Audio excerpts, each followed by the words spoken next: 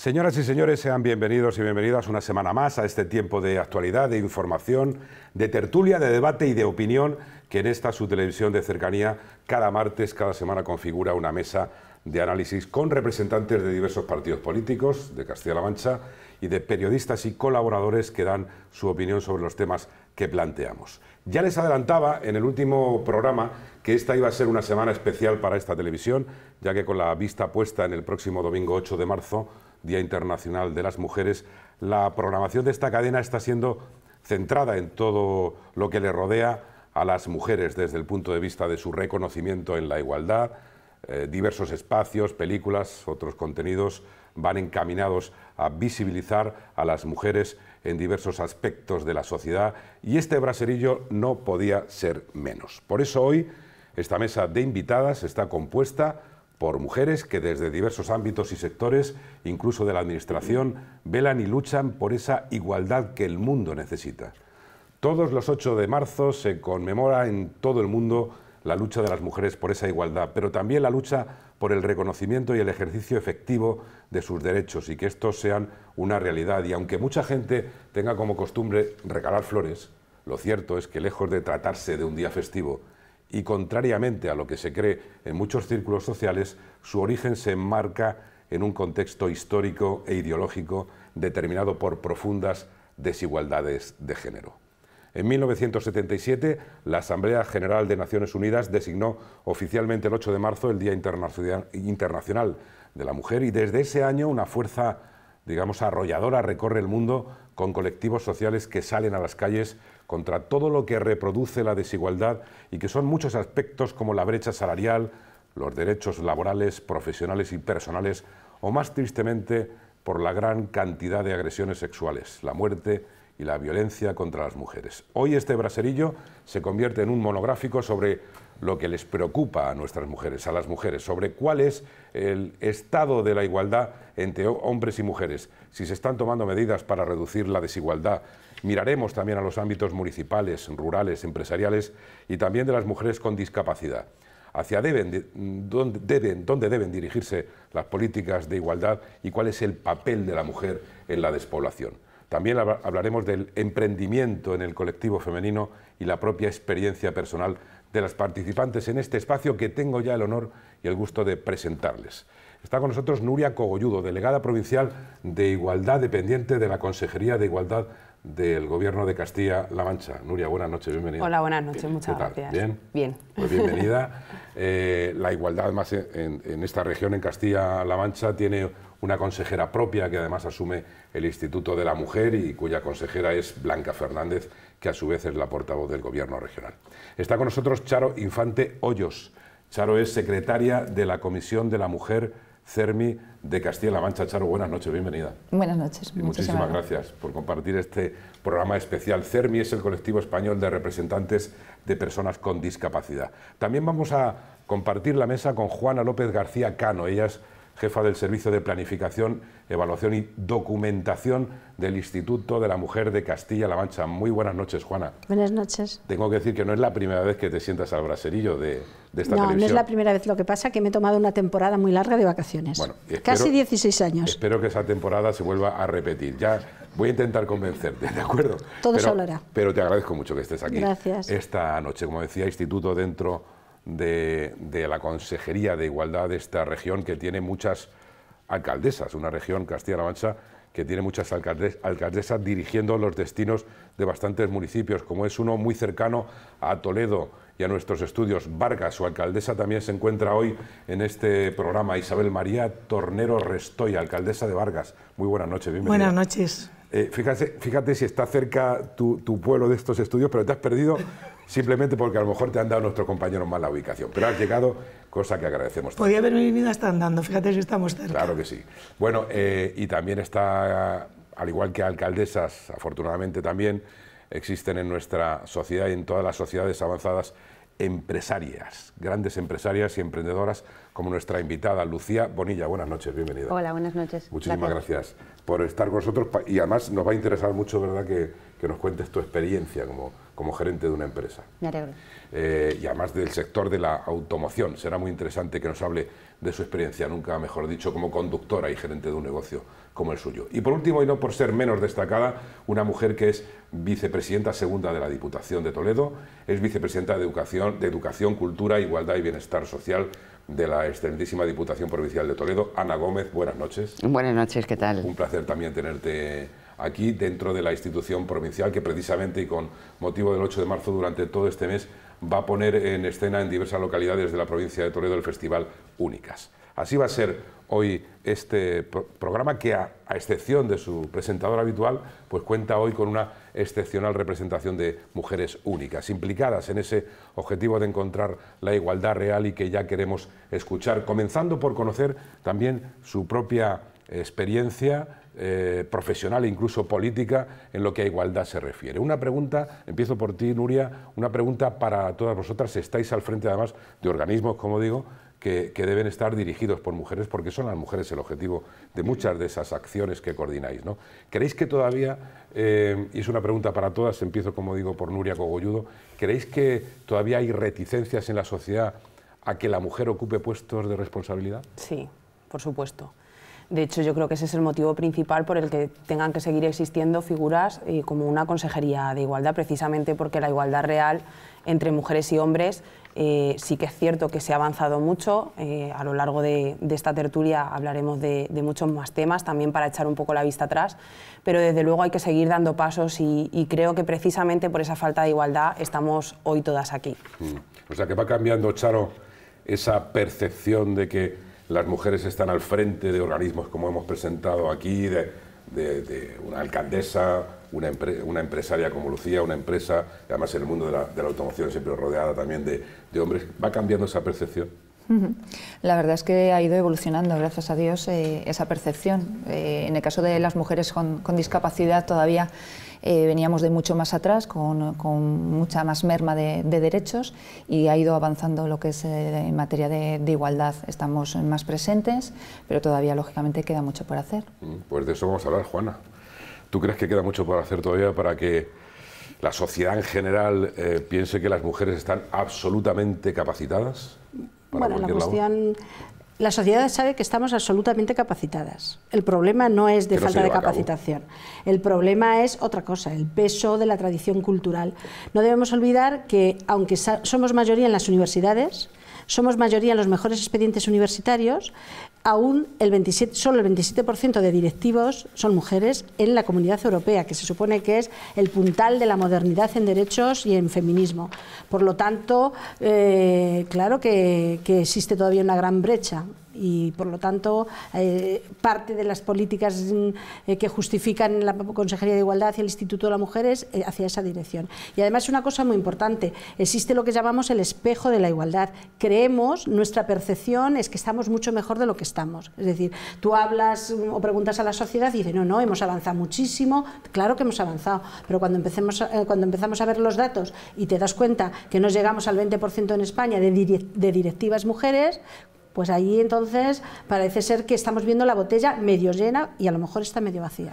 Luego os voy a sobre todo a preguntar o vamos a charlar sobre vuestra experiencia personal, la de las seis, pero esa pregunta, ¿crees que todavía le falta mucho? Hablo de los puestos de responsabilidad, tú eres alcaldesa, Isabel.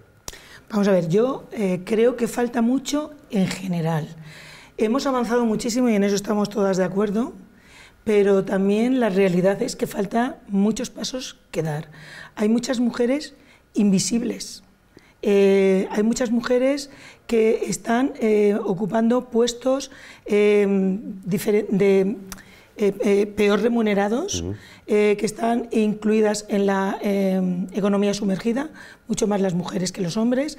Es decir, que la sociedad ha avanzado, que duda cabe, hemos alcanzado incluso aquellos aspectos eh, los que solamente se, tenían eh, dedicados al hombre, como es en las Fuerzas Armadas o es en la Guardia Civil, en la Policía, ahí también ha accedido la mujer. Tenemos eh, cada vez más mujeres a nivel empresarial, y es verdad que faltan mucho, pero ya van accediendo. Muchas mujeres que han accedido al poder político, no solamente en España, lo vemos en Europa, eh, lo vemos en muchos, eh, bueno, hablando de nuestra sociedad, pero sigue habiendo muchas mujeres invisibles. Y esas mujeres invisibles requiere que, las, que se tienen que visibilizar. Y hay que trabajar por ellas y para ellas, y, bueno, y hay que trabajar para mejorar la sociedad, porque mientras haya sectores eh, que, no, que no están a la altura de los demás, que no han alcanzado la plena visibilización, pues seguiremos estando en un sector, o sea, en una situación de, desigualdad. Fíjate hablar de, las Fuerzas Armadas, ¿no? donde las mujeres, la política, ¿no? Eh, vamos a recordar aquellos... Luego hablaremos también en otro bloque de, todo lo que se ha conseguido y, lo que había antaño, ¿no? Un congreso, por ejemplo, de los diputados, solo de, hombres vestidos de negro, ¿no? Eh, y aquello era impensable, ¿no? En aquella época que, que las mujeres incluso presidieran el Congreso de los Diputados. Pero luego hay cosas más domésticas que a mí todavía me siguen llamando la atención. Por ejemplo, porque el gran sector de, las mujeres de la limpieza siguen siendo mujeres para un trabajo que pueden realizar los hombres. Porque está muy mal pagado. porque está mal pagado. Luego, luego eso va a ser muy importante, porque ahí estará también el tema de los sueldos. Ana, eh, desde la Diputación, tu visión de, esa, de ese aspecto de, las mujeres con responsabilidad, que todavía también estás de acuerdo de que la sociedad no percibe que estáis absolutamente preparadas para ocupar cualquier, cualquier, puesto. Hasta de presidentas de un gobierno. Juana lo ha dicho muy bien, no es un problema de capacidades, es un problema de dónde nos quieren dejar llegar. Mm. Y desafortunadamente se nos están poniendo muchas trabas, siempre se nos han puesto y nosotros hemos ido eh, rompiendo barreras, hemos ido consiguiendo muchas cosas, pero nos queda mucho por hacer. Yo creo que si alguien pensara que no éramos, que no éramos capaces o si no lo fuéramos, no estaríamos donde, donde estamos. Nos queda mucho por hacer. No creo que seamos las mujeres las que tenemos que estar al frente de eh, las políticas de igualdad solamente, como has comentado al principio, sino que precisamente ese 50% de la población, que son los hombres, son los que realmente se tienen que implicar para que todos a una sumemos, sumemos esfuerzo. Mal trabajo estaríamos haciendo si al final las políticas dirigidas a la mujer o las que intentan fomentar la igualdad fueran dirigidas solamente por mujeres, porque no es una pelea no quiero decir la palabra pelea, no es una batalla que tengamos que ganar las mujeres, es algo que se tiene que concienciar absolutamente toda la sociedad y los hombres como 50% de esa sociedad tienen que participar y tienen que ser... Eh, tienen que ser consecuentes con lo que ya saben, y es que las capacidades de las mujeres son exactamente iguales que las que puede tener eh, los varones y el, sexo masculino. Por hacer mucho, pero yo creo que eh, hemos avanzado afortunadamente. El hecho de que estemos en puesto de responsabilidad, pues eh, yo creo que es una suerte para, para todas, porque podemos eh, tener tertulias como estas donde vamos a intercambiar puntos, puntos, de, puntos de vista, pero sin duda, mm, vuelvo a recalcar, el trabajo que hay que hacer no solamente depende de las mujeres. Y, por ejemplo, el trabajo de Diputación no es porque yo esté a cargo de una vicepresidencia que lleva eh, igualdad entre sus muchas, en muchas áreas, sino también porque hay un presidente de la Diputación que está concienciado con la igualdad y con que tiene que llevar las políticas eh, de igualdad y potenciar el empoderamiento femenino y la visibilización de la mujer en toda la provincia de, Toledo. Si no fuera así, difícilmente podría, podría llevarse a cabo. Pues Lucía Bonilla es gerente de un concesionario, de una marca muy conocida, y aparte de eso eh, es gerente, tu madre también ha sido una mujer emprendedora y empresaria, ¿no? O sea que tu caso es muy visible, ¿no? Sí, yo es que no concibo ver la diferencia entre hombre y mujer. Yo reconozco que sí que hay mucho recorrido. Yo, aparte de trabajar en Bonilla Motor, que es en mi empresa y es una empresa familiar, pues eh, tengo una trayectoria anterior laboral, ¿vale? que no solo he trabajado en, en Bonilla Motor y nunca me he sentido mm, discriminada ni principalmente nunca me he puesto barreras. Me refiero, nunca he pensado que por ser mujer iba a llegar a menos. Yo sabía dónde quería llegar y a dónde iba a ir y en ningún momento me ha eh, hecho sentirme menor o inferior, ni, te ni he cohibido ni nada. Una barrera nunca. Nunca, es que es una cosa que no me planteo. Pero ¿Y, cómo te ¿Y cómo te ven tus compañeros? Claro, pero me lo planteo. tus empleados? Bueno, pues yo los veo como compañeros. Principalmente porque yo empecé, llevo 18 años en... Empezaste desde, como se suele decir, Yo empecé desde abajo, ¿eh? del todo y fui creciendo, ¿vale? Me fui ganando mi puesto, que me ha costado muchísimo esfuerzo. Mm por supuesto, pero y en, un mundo de hombres. me refiero, aparte estoy en la Junta Directiva de Peugeot de, a nivel nacional y el porcentaje de mujeres es muy pequeño, pero es verdad que hay muchas mujeres que no se animan a este sector, no porque no nos quieran, al revés, están encantados de, tenernos porque aportamos otra sensibilidad, otra emoción, otro mm, bueno, pero el respeto debe ser el mismo si el gerente es pero un hombre que nadie, mujer. claro, y yo, por ejemplo, mis compañeros, eh, que somos 40 en, la empresa, yo hago muchas entrevistas, el 25% de, de, la gente eh, del personal son mujeres, pero yo es que cuando hago una entrevista me da igual que sea pintora, que contable, que gruista, que... Mm lo mido por su habilidad, su talento y, su capacidad, no por si es mujer o hombre. es algo que no me planteo. Me gustaría conocer vuestra experiencia, la de las seis personal en cuanto a la igualdad. ¿eh? Nuria. ¿Se puede hacer sí, sí. Podéis hablar lo que queráis, podéis intervenir en cualquier momento. ¿eh? Yo lo que, lo que dices tú, pues claro, la experiencia profesional, la experiencia personal, claro que será y estará y habrá casos, pero la realidad es otra. Es decir, el que tú no te hayas sentido discriminada, que será así, habrá, muchas mujeres, habrá muchas mujeres que no se han sentido discriminadas, pero la realidad es que las mujeres hoy por hoy están discriminadas y a medida que se avanza en las cuotas de poder y en las cuotas de, equipos directivos, las mujeres nos llegan. Por tanto, no es un problema de formación porque no lo es, es otro problema.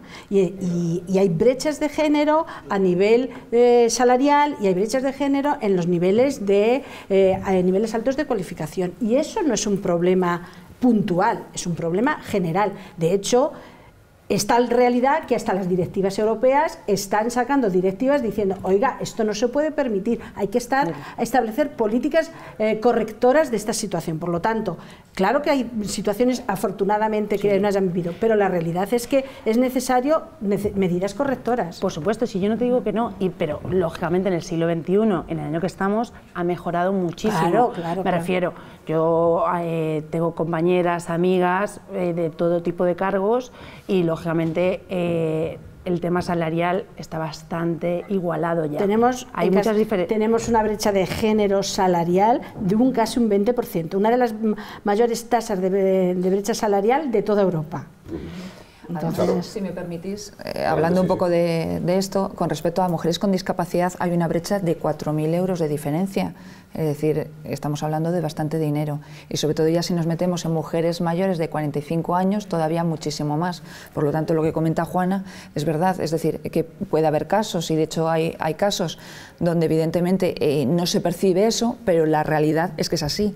Hace poquito tiempo, además, también presentamos lo que es el cupón de, de OCE conmemorativo del Día eh, de la Igualdad eh, Salarial, que fue el 22 de, febrero. Se daban una serie de cifras y se comparaban los 10 últimos años. Entonces, comparando hace 10 años a cómo estamos ahora, hubo un repunte a los 3 años o así, pero luego hemos partido casi con la misma cifra que hace 10 años y, es una, y es una pena, está estancada, exactamente.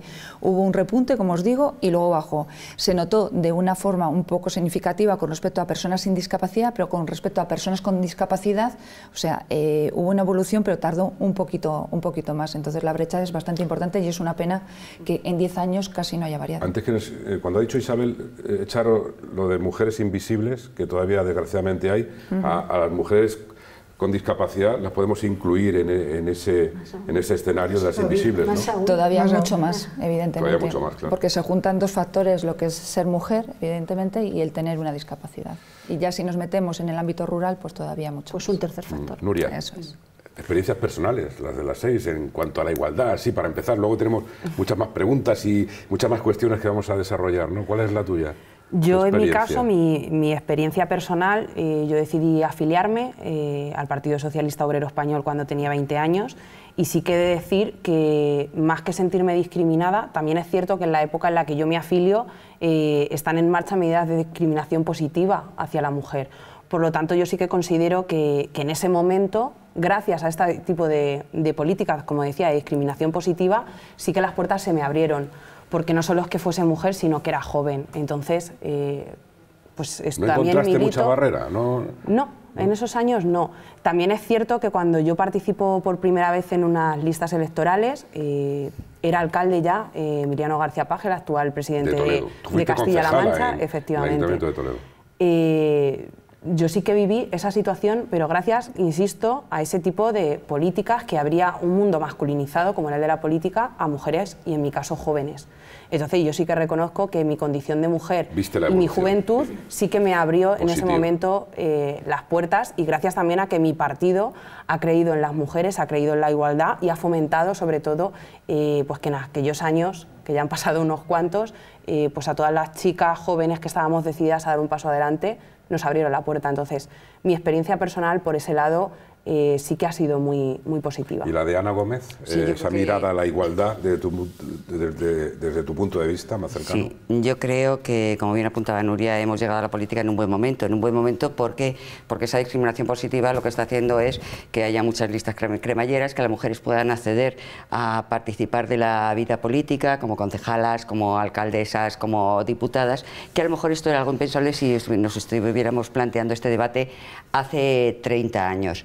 Eso en lo que se refiere al aspecto de vida política. En el aspecto profesional, porque yo he tenido una vida anterior a, esta, he trabajado en el, sector, en el sector privado y sí que puedo decir que ha llegado ciertos momentos en los cuales, teniendo una proyección, a lo mejor en un momento determinado, una, proyección profesional, has tenido que decidir qué es lo malo. O sea, no entiendo por qué una mujer que tiene una proyección profesional en un momento tiene que decidir si continúa con esa proyección o atiende a, su familia porque no tiene esa corresponsabilidad que es lo que ahora estamos exigiendo todas, porque no hay medidas conciliadoras, conciliadoras perdón, y porque en un momento dado siempre la elección recae en nosotros, en nosotras esa es la parte que yo creo que deberíamos intentar eliminar, que no seamos eh, nunca las víctimas que tengamos que decidir qué vamos a hacer con nuestra vida, sino que eh, lo tengamos suficientemente organizado a nivel de conciliación, de corresponsabilidad, que nuestra vida tanto profesional, ahora que tenemos las oportunidades o que estamos consiguiendo las oportunidades de llegar a, puestos de, de, mayor responsabilidad, puedan perfectamente convivir con responsabilidades familiares compartidas por todos. Y la de Isabel, ¿cuál es la experiencia con la igualdad? Bueno, yo parto de la base de que, bueno, como estamos aquí todas, de que hombres y mujeres somos iguales en derechos y en obligaciones. Y esa es una convicción que me ha acompañado a lo largo de mi vida. Eh, parece que hago, me estoy remontando a otros tiempos que me parece a mí que vosotros no habéis vivido. Tengo la impresión. Eh, me ha acompañado a lo largo de mi vida tanto en mi, en mi ámbito personal como, como profesional.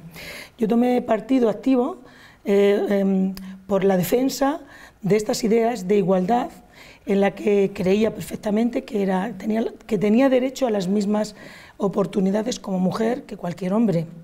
Estas eran unas ideas que se empezaron a, desarrollar tímidamente porque contaba con, la, con, muy poco apoyo, tanto de mujeres como de hombres, pero también habíamos un, montón de mujeres que estábamos empeñadas en tirar para adelante. E incluso se nos eh, tildaba en una sociedad llena de perjuicios pues de liberadas, que era, un, era como un reproche moral. Sí, un término que no, no tenía... Frente a lo que se supone que es una mujer em, tal cual, ¿no? Una, una, mujer obediente a los padres, sumisa al marido, ese era el modelo de mujer de mi época. Y entonces, bueno, pues esa lucha eh, supuso eh, un, eh, una forma de, de plantearte eh, qué es lo que querías y por qué ibas a, trabajar. Y sorprendentemente no había tanto apoyo de algunos hombres como esperabas. Es decir, eh, esto fue una lucha más bien en solitario de las mujeres. Eh, no, no, está tan lejos eso. Sigue siendo Isabel muy joven, esto es un, es un cumplido, ¿no? Pero quiero decir, no está tan lejos, porque hablamos de 1977 como el año que la ONU marca el Día Internacional de la Mujer como una celebración, pero en los años 70 España salía de donde, donde salía en el año 1975 y evidentemente la mujer, pues las mujeres no podían votar, las mujeres, vamos a recordar, no podían comprarse eh, una vivienda, tenían que pedir siempre permiso, estaban sometidas, la mujer no tenía la libertad de, de divorciarse, por ejemplo, y tenía que estar durante mucho tiempo viviendo pues bajo las garras de algunos seres realmente despreciables. Ahora las mujeres tienen la oportunidad, eh, algunas desgraciadamente no, y vamos a hablar luego de ello también, de la violencia con las mujeres. me queda la, la experiencia de Juana y de Charo y de Lucía con la, con la igualdad, ¿no? Eh, todas muy jóvenes en definitiva, ¿no? Pero ¿cuál ha sido tu experiencia más cercana? ¿Cómo la has sentido? Porque esa es la pregunta que yo quiero hacer, ¿no? ¿Has sentido tú la igualdad? ¿La has tenido de cerca? ¿Crees que es la misma pregunta de antes? ¿no? ¿Se ha logrado desde tu punto de vista? en mi caso, eh, yo sí que he sentido, he sentido la igualdad, pero porque creo que también ha sido un, he tenido la suerte de de tener una familia que me ha inculcado siempre la igualdad y no me he dado, yo creo, la opción de, pensar lo contrario, ¿vale? Yo para mí, mi madre es un gran ejemplo, ¿vale? Vienen de familias muy, muy humildes y mi madre es empresaria, es presidenta de asociaciones, presidenta de la Cámara de Comercio y es que no ha tenido límites nunca de nada. Entonces, para mí es lo que decía anteriormente, que no concibo esa diferencia y me reitero, trabajo en un mundo de hombres y están encantados de que, de que estemos eh, siempre en el, en el sector.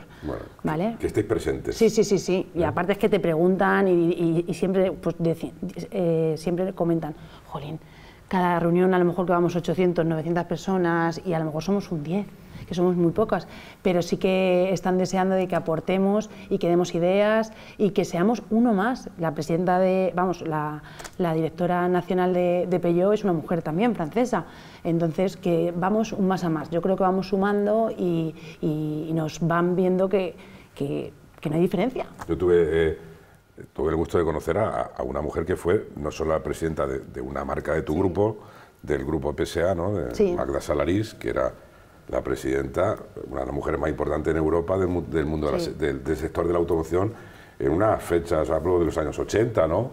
Eh, Juana y Charo, por, por, ti mismo, Juana, tu experiencia con la igualdad. Yo, sé que me estás apuntando lo del lenguaje. No, no te estoy apuntando nada. Vamos a ver. yo, estoy haciendo bien los Yo soy ¿eh? una privilegiada, o sea, a nivel personal soy una, ¿Por privilegiada. Qué eres una privilegiada. Pues porque yo procedo de un pueblo, zona rural, eh, de padres sin recursos económicos, etcétera, etcétera, como la mayoría a lo mejor. Como la mayoría de los que estamos entonces, aquí. Eh, pude ir a la universidad, que, bueno, pues ir a la universidad ahora está muy generalizada, pero yo que soy una señora, ya casi, de, aunque no parezca, soy de, tengo años, ir a la universidad era como un salto social. Eh, pude ir a la universidad, por una posición, tengo un puesto, durante muchos años he tenido puestos tal, he sido una privilegiada, pero he sido feminista desde que tenía tres años, desde que te oyes que eso no lo hacen las niñas, y observas que lo que hacen los niños es más enrollado que lo que tienen que hacer las niñas. Y, no les y empiezas a plantearte que hay cosas, como que eso no lo hacen los niños y lo hacen las niñas? Tal. Eh, lo típico, yo estoy hablando, mi niñez son de los años 60. Eh, las chicas no juegan al fútbol. ¿Cómo que no? ¿Por qué no? Ahora, claro, eso denota cómo hemos progresado. Ahora hay una liga entera. Y, y entonces mi experiencia, pero claro, el, claro que mi experiencia con la igualdad, es decir, siempre he sido consciente de lo que tenemos, pero sobre todo de lo que no tenemos. Además, yo quiero apuntar una cosa, las feministas siempre han sido muy optimistas, es decir, las sufragistas cuando consiguieron el voto se pensaban que ya lo habían hecho todo. ¿Vale? Y dijeron, bueno, pues si lo, eh, queremos la igualdad, conseguimos el voto, ya lo hemos hecho todo. Pero no, se dieron cuenta que con el voto no era suficiente. Y dijeron, bueno, pues será cuestión de ir a la universidad. Exigen ir a la universidad porque piensan que con eso ya lo van a tener todo. Van a la universidad, vamos a la universidad y no tienen todo. Entonces, las feministas vamos avanzando y nos vamos dando cuenta que no es una cuestión fácil, sino que hay una cosa detrás que se llama una organización social, que es el gran patriarcado, que a medida que las mujeres vamos avanzando, se va rearmando y reafirmando. Por tanto, ¿y qué ocurre? Quiero recordar que este año es el año, eh, la ONU lo declara la generación de la igualdad el año mm. en el que estamos generación de la igualdad. ¿Y por qué lo declara? Porque la gente joven, las mujeres jóvenes empiezan a incorporarse en la reivindicación feminista, algo que hace 10 años no lo teníamos. Y mm. las jóvenes están empezándose a mosquear, a cabrearse, porque están diciendo, ¿qué pasa aquí? Mis compañeros nos hemos educado iguales, hemos tenido un marco normativo igual, pero la realidad no es igual. Por tanto... La educación ha cambiado. Claro que ha cambiado. Ha cambiado mucho. Charo, eh, y escuchamos ya una última valoración personal para luego ya entrar en materia, en otros asuntos, en otros contenidos, en el siguiente bloque, antes de una pausa publicitaria. Pero, Charo, tu experiencia con la igualdad. A mí me pasa lo mismo que, a Juana. Bueno, yo eh, pertenezco también a, un pueblo, en este caso de Castilla y León, a un pueblo de, de la provincia de Palencia, Paredes de Nava. Y, yo, bueno, yo desde bueno, a los 10 meses de, edad me, quemé. En las casas de antes pues había lo que eran las lumbres, no había las calefacciones y tal. Y bueno, tuve un accidente y me, caí bueno, y, ya desde ese momento pues ya, ya tuve lo que es una discapacidad. Yo luego con el paso de, de los años pues he tenido también eh, discapacidad visual, pues bueno.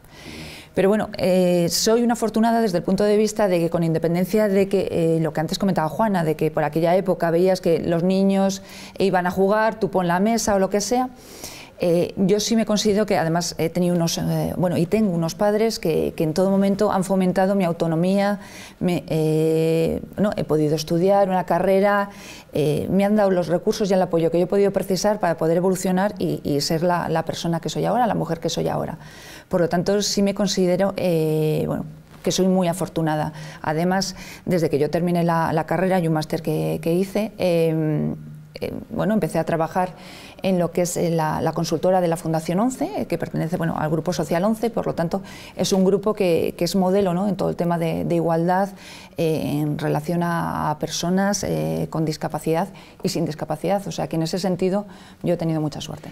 Pues he escuchado la palabra suerte, he escuchado la palabra privilegio, ser privilegiadas, tener, esfuerzo, tener buena enseñanza, por ejemplo, de la madre de, de, de Lucía. Nuria, por ejemplo, decía que ella ya se ha encontrado ese camino, ha vivido como una mujer joven, Ana dice que todavía tenemos que seguir eh, luchando y bueno, y, Charo que ha tenido en su organización, la ONCE, donde ella trabaja también la, ayuda y sobre todo Juana, pues que era de, aquellas eh, compañeras que teníamos en el, en el colegio que siempre preguntaban ¿Y por qué? Efectivamente. y lo sigo preguntando. Pues eso es lo que tienes que seguir haciendo. Y luego yo voy a preguntar más cosas enseguida, después de la publicidad, en este especial, que no debería, y estoy de acuerdo con Juana, que antes me lo ha dicho antes de entrar, ¿por qué ahora? Bueno, pues porque es el día de 8 de marzo. Lo voy a instaurar y casi todos los meses, una tertulia de mujeres. Sería muy interesante. No porque venga el día 8 de marzo tenemos que reuniros aquí a todas. Siempre tenéis que ser protagonistas. O, por ejemplo, una tertulia. No hay tertulias de fútbol, eh, de hombres, solo de hombres. Eh, pues también tiene que estar las tertulias de mujeres. Enseguida aquí en el Braserillo.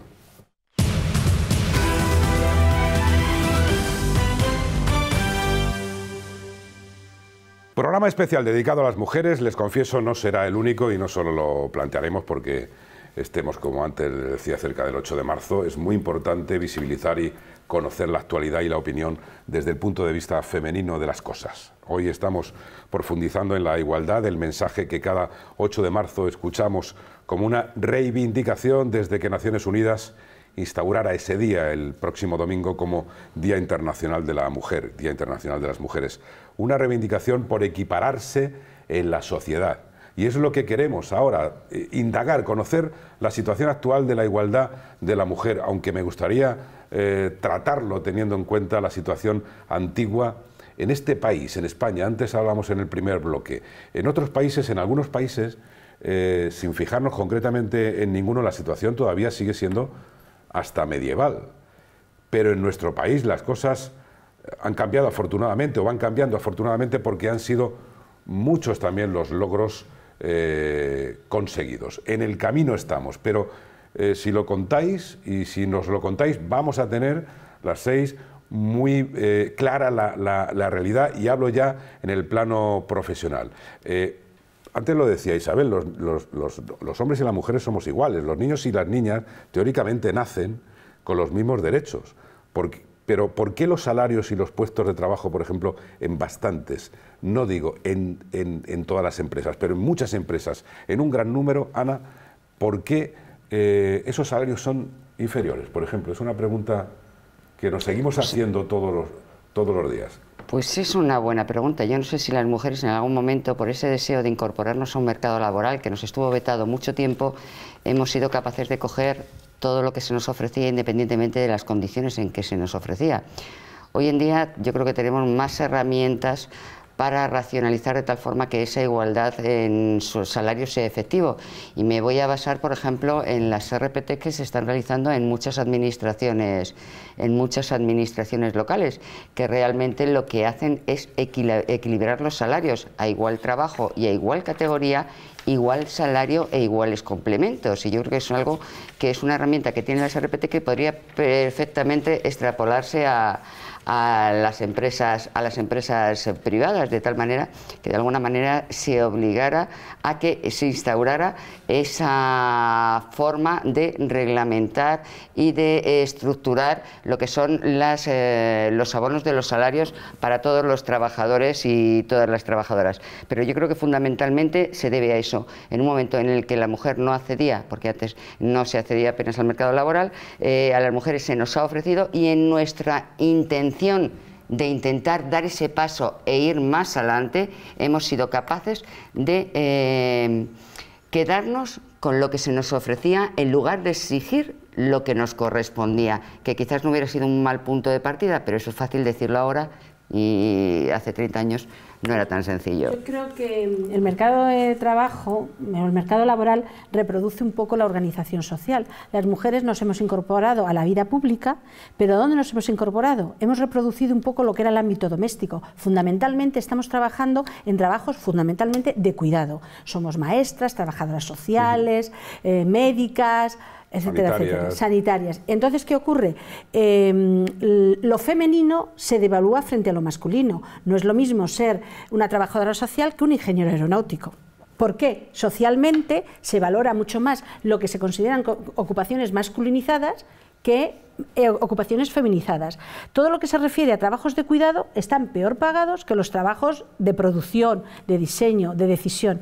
Y entonces, claro, ahí las mujeres nos decantamos, nuestra orientación profesional es por eso. Y por, es que habría que arrastrarse. ¿Y por qué nos decantamos por ocupaciones más de cuidado? Pues porque es que desde que nacemos nos están marcando las características de género. Desde que vamos a la escuela de educación infantil estamos eligiendo juguetes de cuidadoras, etcétera, etcétera. Por lo tanto, en educación hay que trabajar mucho la reorientación laboral, etcétera, etcétera. Esos catálogos de juguetes de Navidad, la parte rosa y la parte azul, que se les incrusta a los niños en, la piel lo que es esto es de niños y esto es de niñas. Pues eso es el, inicio de la elección profesional. eso es para otro debate. ¿eh? O sea, los juguetes deben ser para todos también. Sí, Los padres y las madres cocinan, los padres y las madres llevan a los bebés en los carritos. Por tanto, el niño, el, juego es, un, es una actividad simbólica. Los niños juegan lo que ven. ¿Y por qué los chefs son, son hombres? Bueno, eso es otra cuestión. Porque lo que es, la misma, es la misma, el mismo tema, es decir. ¿Por qué los mejores chefs mundiales y españoles? No, y hay, hay, los, mujeres los mejor pagados. eso sí, eso sí. Eso sí es bueno, ese es otro Como debate. los mejores modistos. Seguimos, que no nos vamos a salir, digo, que vamos a hablar luego de logros conseguidos en todo este tiempo desde vuestro punto de vista. Pero bueno, ya que hacía ese sobre el salario esa esa irrupción, eh, quiero preguntar, quiero saber qué pensáis todas, ¿no, Lucía? a ver, la empresaria, que además tiene mucho que decir en esto. No, a ver, yo en mi caso, por ejemplo, eh, sí que las mujeres, eh, tengo una en mano de obra como productiva, que es pintora, es oficial de primera, igual que sus compañeros, y cobra exactamente igual que sus compañeros, y creo que es un buen ejemplo. Pero, y luego, por ejemplo, hay administrativas y administrativos y cobran exactamente igual. Me refiero, yo soy partidaria de que no debemos permitir que haya una diferencia, porque como reitero, no, no siento ni creo ni, ni lo hay una diferencia. Ni lo permitiría. Ni lo permitiría, ni como empresaria, ni como persona, ni como madre, ni, ni como... Eh, no, no, no lo percibo. Vale, Charo. Eh, y, y ahora Nuria, venga. Eh, a la hora de acceder las personas con discapacidad a lo que es un empleo, eh, en muchos casos es muy dificultoso y, cuesta mucho el, poder tener esa oportunidad. En el caso de las mujeres con discapacidad, por ese papel de cuidadoras que, han asumido todavía mucho más que una mujer sin discapacidad, eh, optan a trabajos muchas veces muy precarios, es decir, cogen lo, que encuentran y sobre todo muy feminizados y que culturalmente y por educación pues han ido mamando desde un principio. Por lo tanto, se ve mucho más esa influencia y, y esas condiciones más precarias. Nuria Cogolludo. Y sobre todo también eh, voy a incluir aquí el tema de la corresponsabilidad.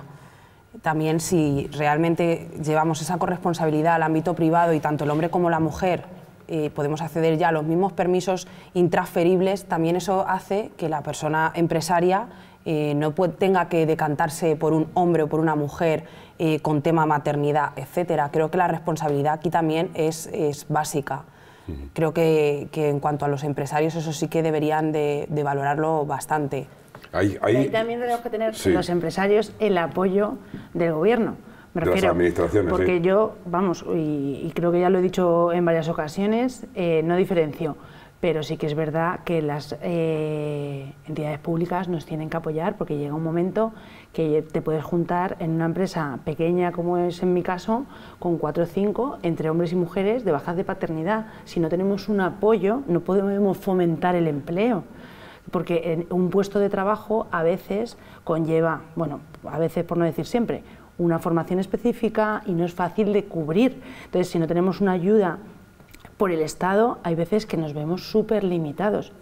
Hay, hay, Isabel, para terminar ya... Es tan importante lo que dice Nuria. No, no, porque estoy cuando solamente ¿eh? la baja por maternidad era una cuestión de mujeres, eso se convertía en un hándicap brutal. Luego hablamos de conciliación. Juana, eh, eh, una cosa, simplemente para terminar con este asunto del salario, ¿no? Cuidado, que yo también me encuentro mucha, a muchos empresarios que dicen, oye, yo en mi empresa pago igual a una mujer que a un hombre. Es decir, lo que pasa es que está muy generalizado, Isabel. Mira, mi experiencia es que yo vengo del mundo de la administración, eh, soy funcionaria. Entonces, eh, no, he sufrido ese problema. En la administración no está ese problema. No existe ese problema en absoluto. Cobra igual. Cobra igual, igual trabajo, igual salario. ningún problema. Sí que es verdad que como parte de la sociedad en la que vivo, soy consciente de la realidad que existe. Estoy de acuerdo con todos los planteamientos que habéis hecho, pero yo me voy a, voy a continuar con el planteamiento que hacía Juana, que creo que hay una cuestión importantísima y es la educación. Yo he trabajado en, educación principalmente en 0-3 años, eh, he trabajado en las escuelas infantiles de la Junta como maestra y de aquí quiero reivindicar la importancia que tiene la educación en todas las etapas, pero fundamentalmente en esta etapa infantil que es muy olvidada y que es, digamos...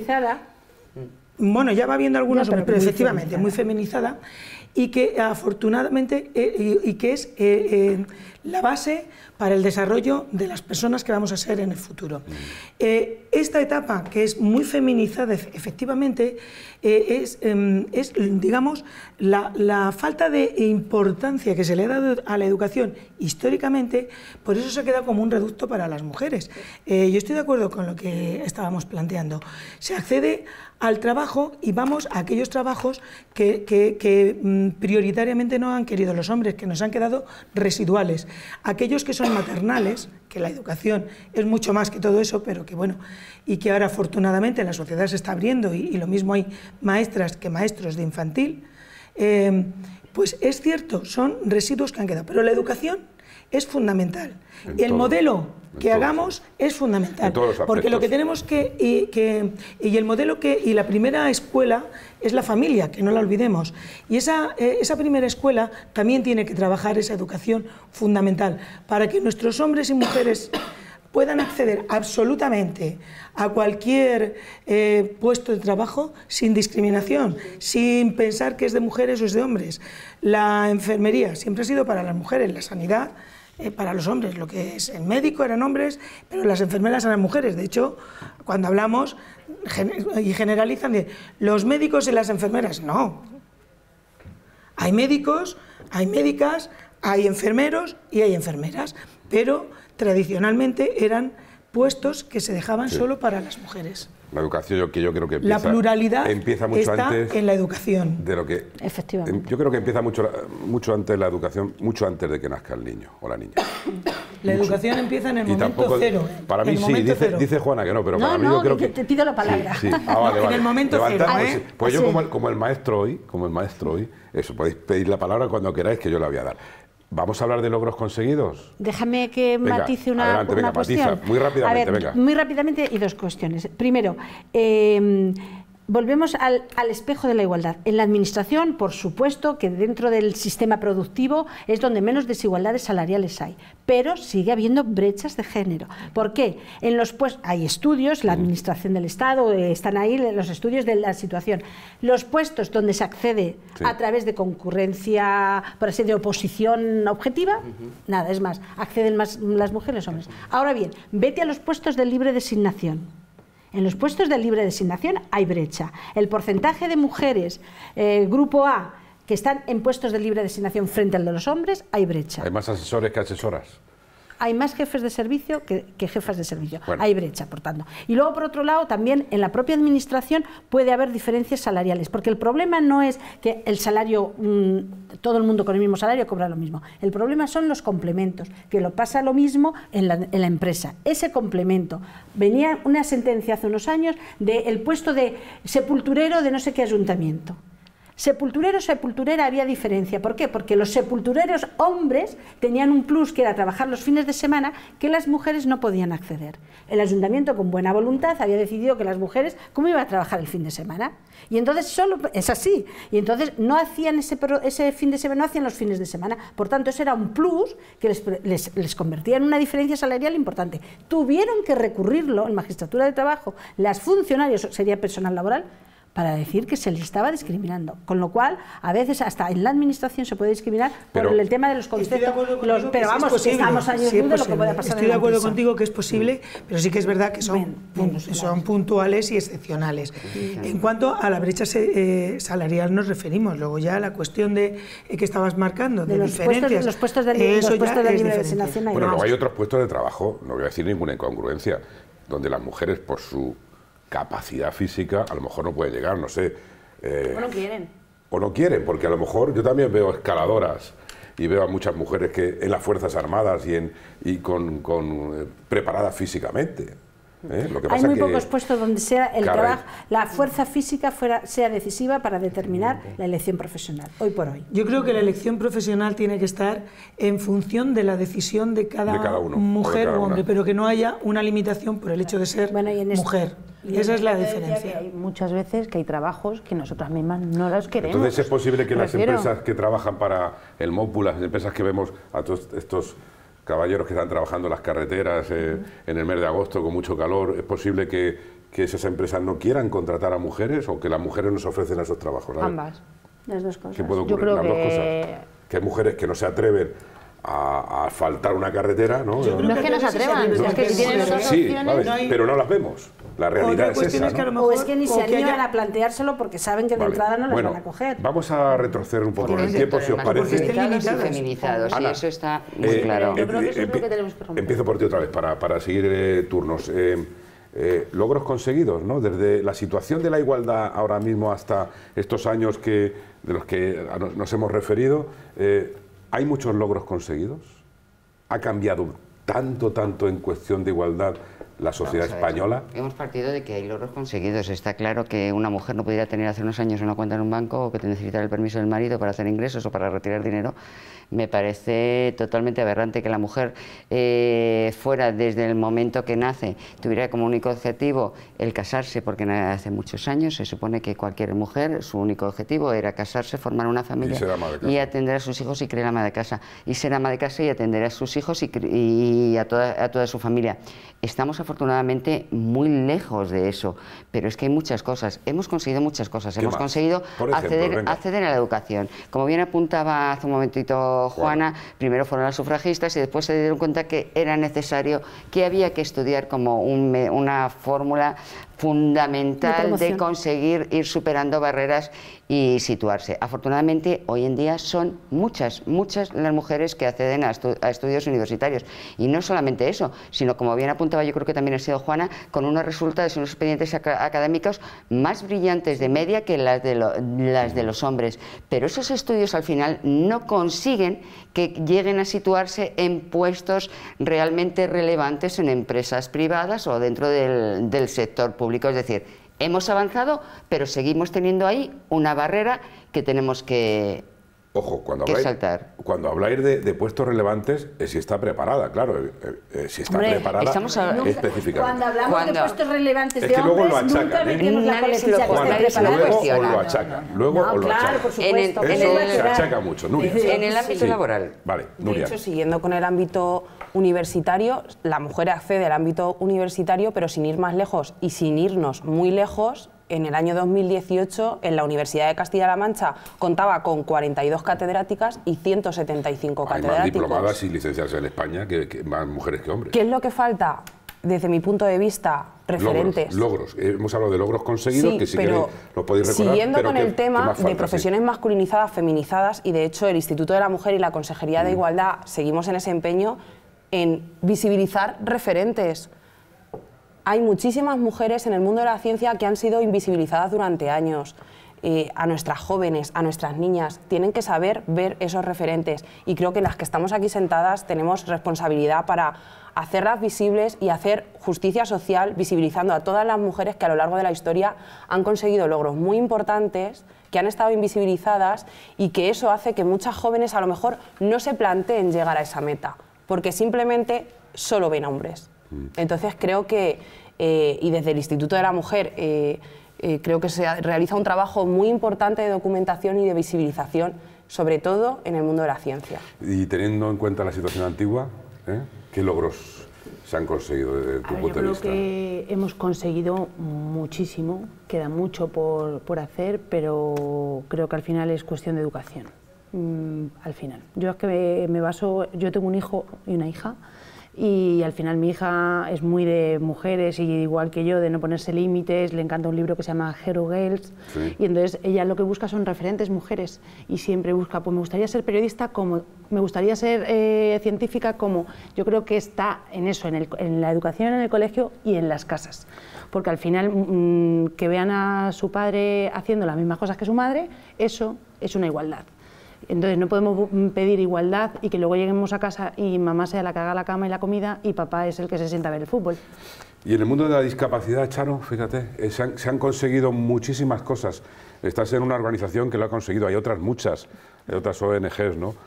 que trabajan por las personas con, discapacidad. Eh, yo conozco ya empresarios que están apostando por gente discapacitada o con personas con discapacidad hace muchos años, con eh, algunos maravillados con la gente del síndrome de Down, eh, que enseñan muchísimo.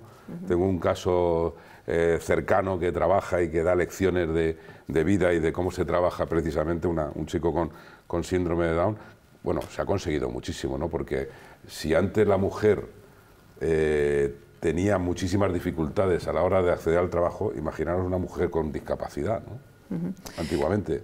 Es, lo que antes comentaba, es decir, nosotros hemos partido de mucho más atrás, por lo tanto la evolución, como partíamos de más atrás, ha sido, se puede decir que ha sido como muy significativa. Es decir, de considerar a una persona con discapacidad directamente desde un punto de vista eh, de, bueno, eh, ni tener derechos, es decir, eh, tienes una persona con discapacidad de quedarse en casa, ni siquiera se puede contemplar que esa persona saliera a formarse, a trabajar y mucho menos ser madre, por ejemplo, en el caso de las mujeres con discapacidad.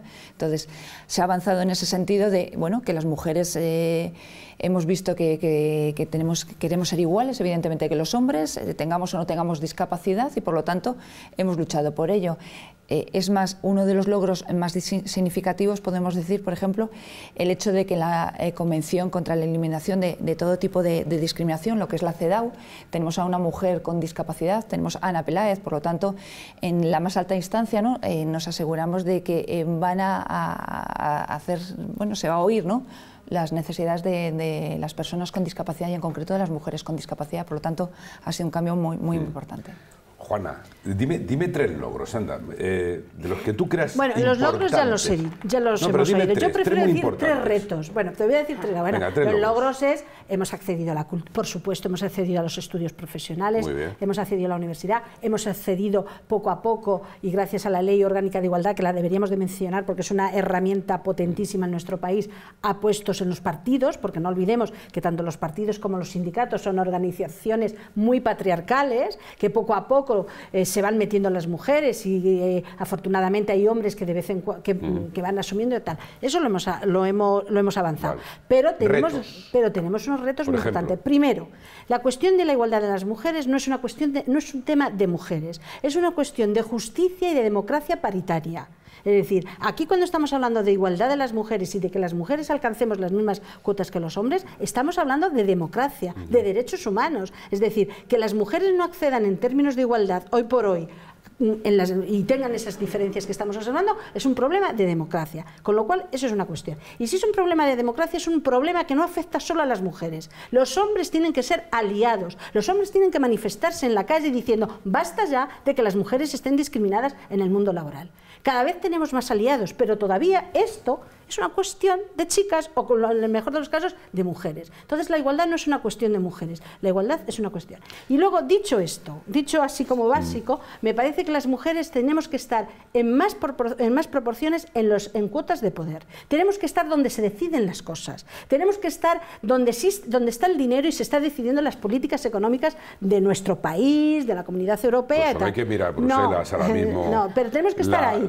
Estamos en los foros de trabajo social, de bienestar social, Ministra, de ayuda a no vicepresidenta. Vale, pues hombre, es que tenemos, ¿eh? afortunadamente tenemos un, gobierno muy potente. La directora del Banco Mundial. Vale, bien. O del Banco Central Europeo, por ejemplo. Y luego también me parece también que es muy importante el tema de las tareas domésticas. La OIT, que no peca mucho de ser un grupo de feministas radicales, viene a decir que no vamos a llegar a una igualdad real si no resolvemos el tema pues, de la conciliación. Me gusta eso que acabas de decir. Y, y una pregunta para todas, porque yo sí que tengo la percepción, empiezo por la alcaldesa, que los chavales de ahora, los chicos de ahora, de esta generación de 2020, de esta generación de ahora, que yo no comparto que sean ninis, porque yo en esa, en esas, en, eh, en, esos, en esa creación de grupos eh, yo veo solo minorías, ¿no? Eh, pero una pregunta para todas. Creo, y yo tengo la percepción, que los chicos de ahora, los chicos de ahora están mucho más concienciados, que comparten más Muchos de ellos viven en solitario, viven en grupo, estudian junto, eh, con otros chicos.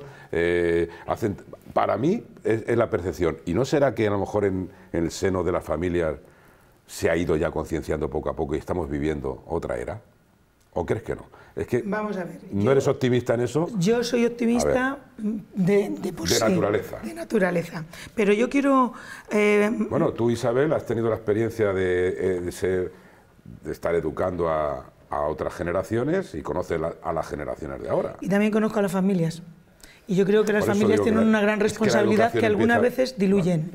Y a mí eso me parece ¿Esa percepción es solo mía o...? Esa percepción es mía.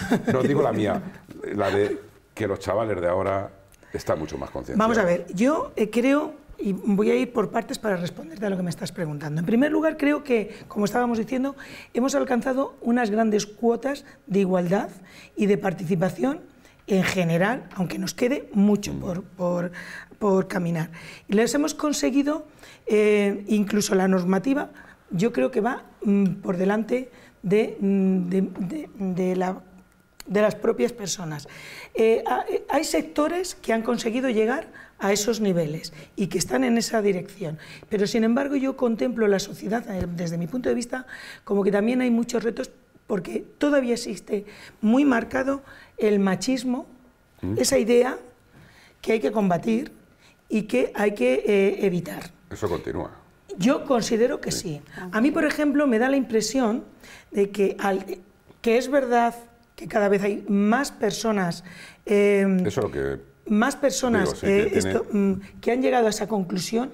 Y ahora, si hago un paréntesis después para contarte un foro que hemos tenido hace bien poco en Vargas, con la, feria, eh, con la primera feria de igualdad que inauguramos este fin de semana. Pero a lo que voy.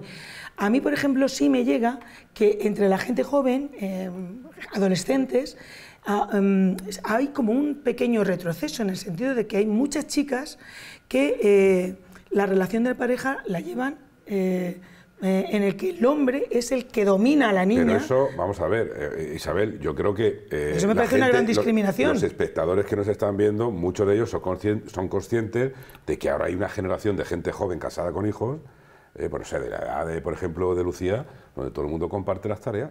Bueno, todo el mundo. Comparte las tareas, hay un gran número de personas que comparten la tarea, pero todo el mundo no. Los datos estadísticos, el Eurostat, eso, no lo las horas de dedicación hemos avanzado las mujeres. Pero seguimos manteniendo ideas muy arcaicas. erradicar lo malo, erradicar el machismo, erradicar lo malo en general va a ser muy, muy complicado. Pero hay que estar en ello, hay que trabajar en ello. Pero debe, debe quedarse en minoría también. Ana, ¿qué piensas?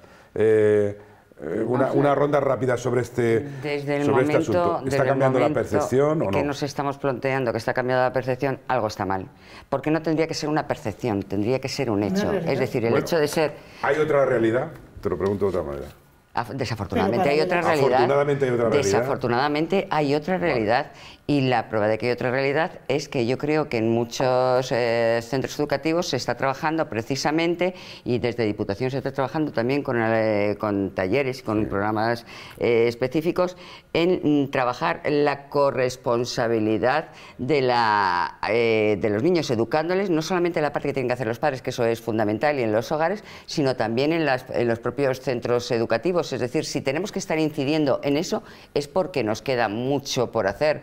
Eh, la situación ideal sería una en la que no hubiera que hacer esa, no hubiera que incidir en ese, en ese aspecto, porque todos seríamos conscientes de que no estamos hablando de unos trabajos eh, femeninos que realizan las mujeres en el ámbito del hogar y otros trabajos que son los que realizan los chicos o, los hombres, sino que estaríamos hablando simplemente de personas que comparten un espacio en el cual todas las responsabilidades son asumidas por, parte, por, por partes iguales por, por, las personas que conviven bajo, bajo ese techo. Lucía Bonilla.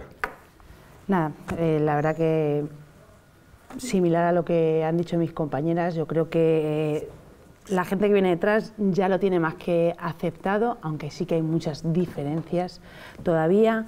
Eh, me preocupa mucho lo que, lo que decía por el tema de la educación que dominan, todavía escuchas en adolescentes de 13, 14 años ya, pero es que él me ha dicho que tenemos que salir. Él, sí que todavía escuchas ese tipo de coletillas. Eso existe, desgraciadamente, sí, sí. Exacto, pues es... Nada, más que ver, por ejemplo, mucho, mucho que tiene que ver en las redes sociales, es lo que muchos mensajes que... son verdaderos acosos, ¿no? Exacto. La conciliación, desde tu punto de vista, Lucía... La conciliación... Eh, tú tienes hijos, has trabajado teniendo hijos, eres madre... Sí, yo tuve que, adaptar un poco mi horario al, al principio, ¿vale? Porque fue una elección mía tuve la posibilidad de hacerlo, en mi empresa igual, tienen tanto hombres como mujeres, ahora tengo un caso de un hombre que, de uno de mis, de los recepcionistas que ha adaptado también el horario por, por paternidad, eh, yo lo adapté porque quería dedicarle unas horas más a mis hijos por, por la tarde y entonces hice jornada continua.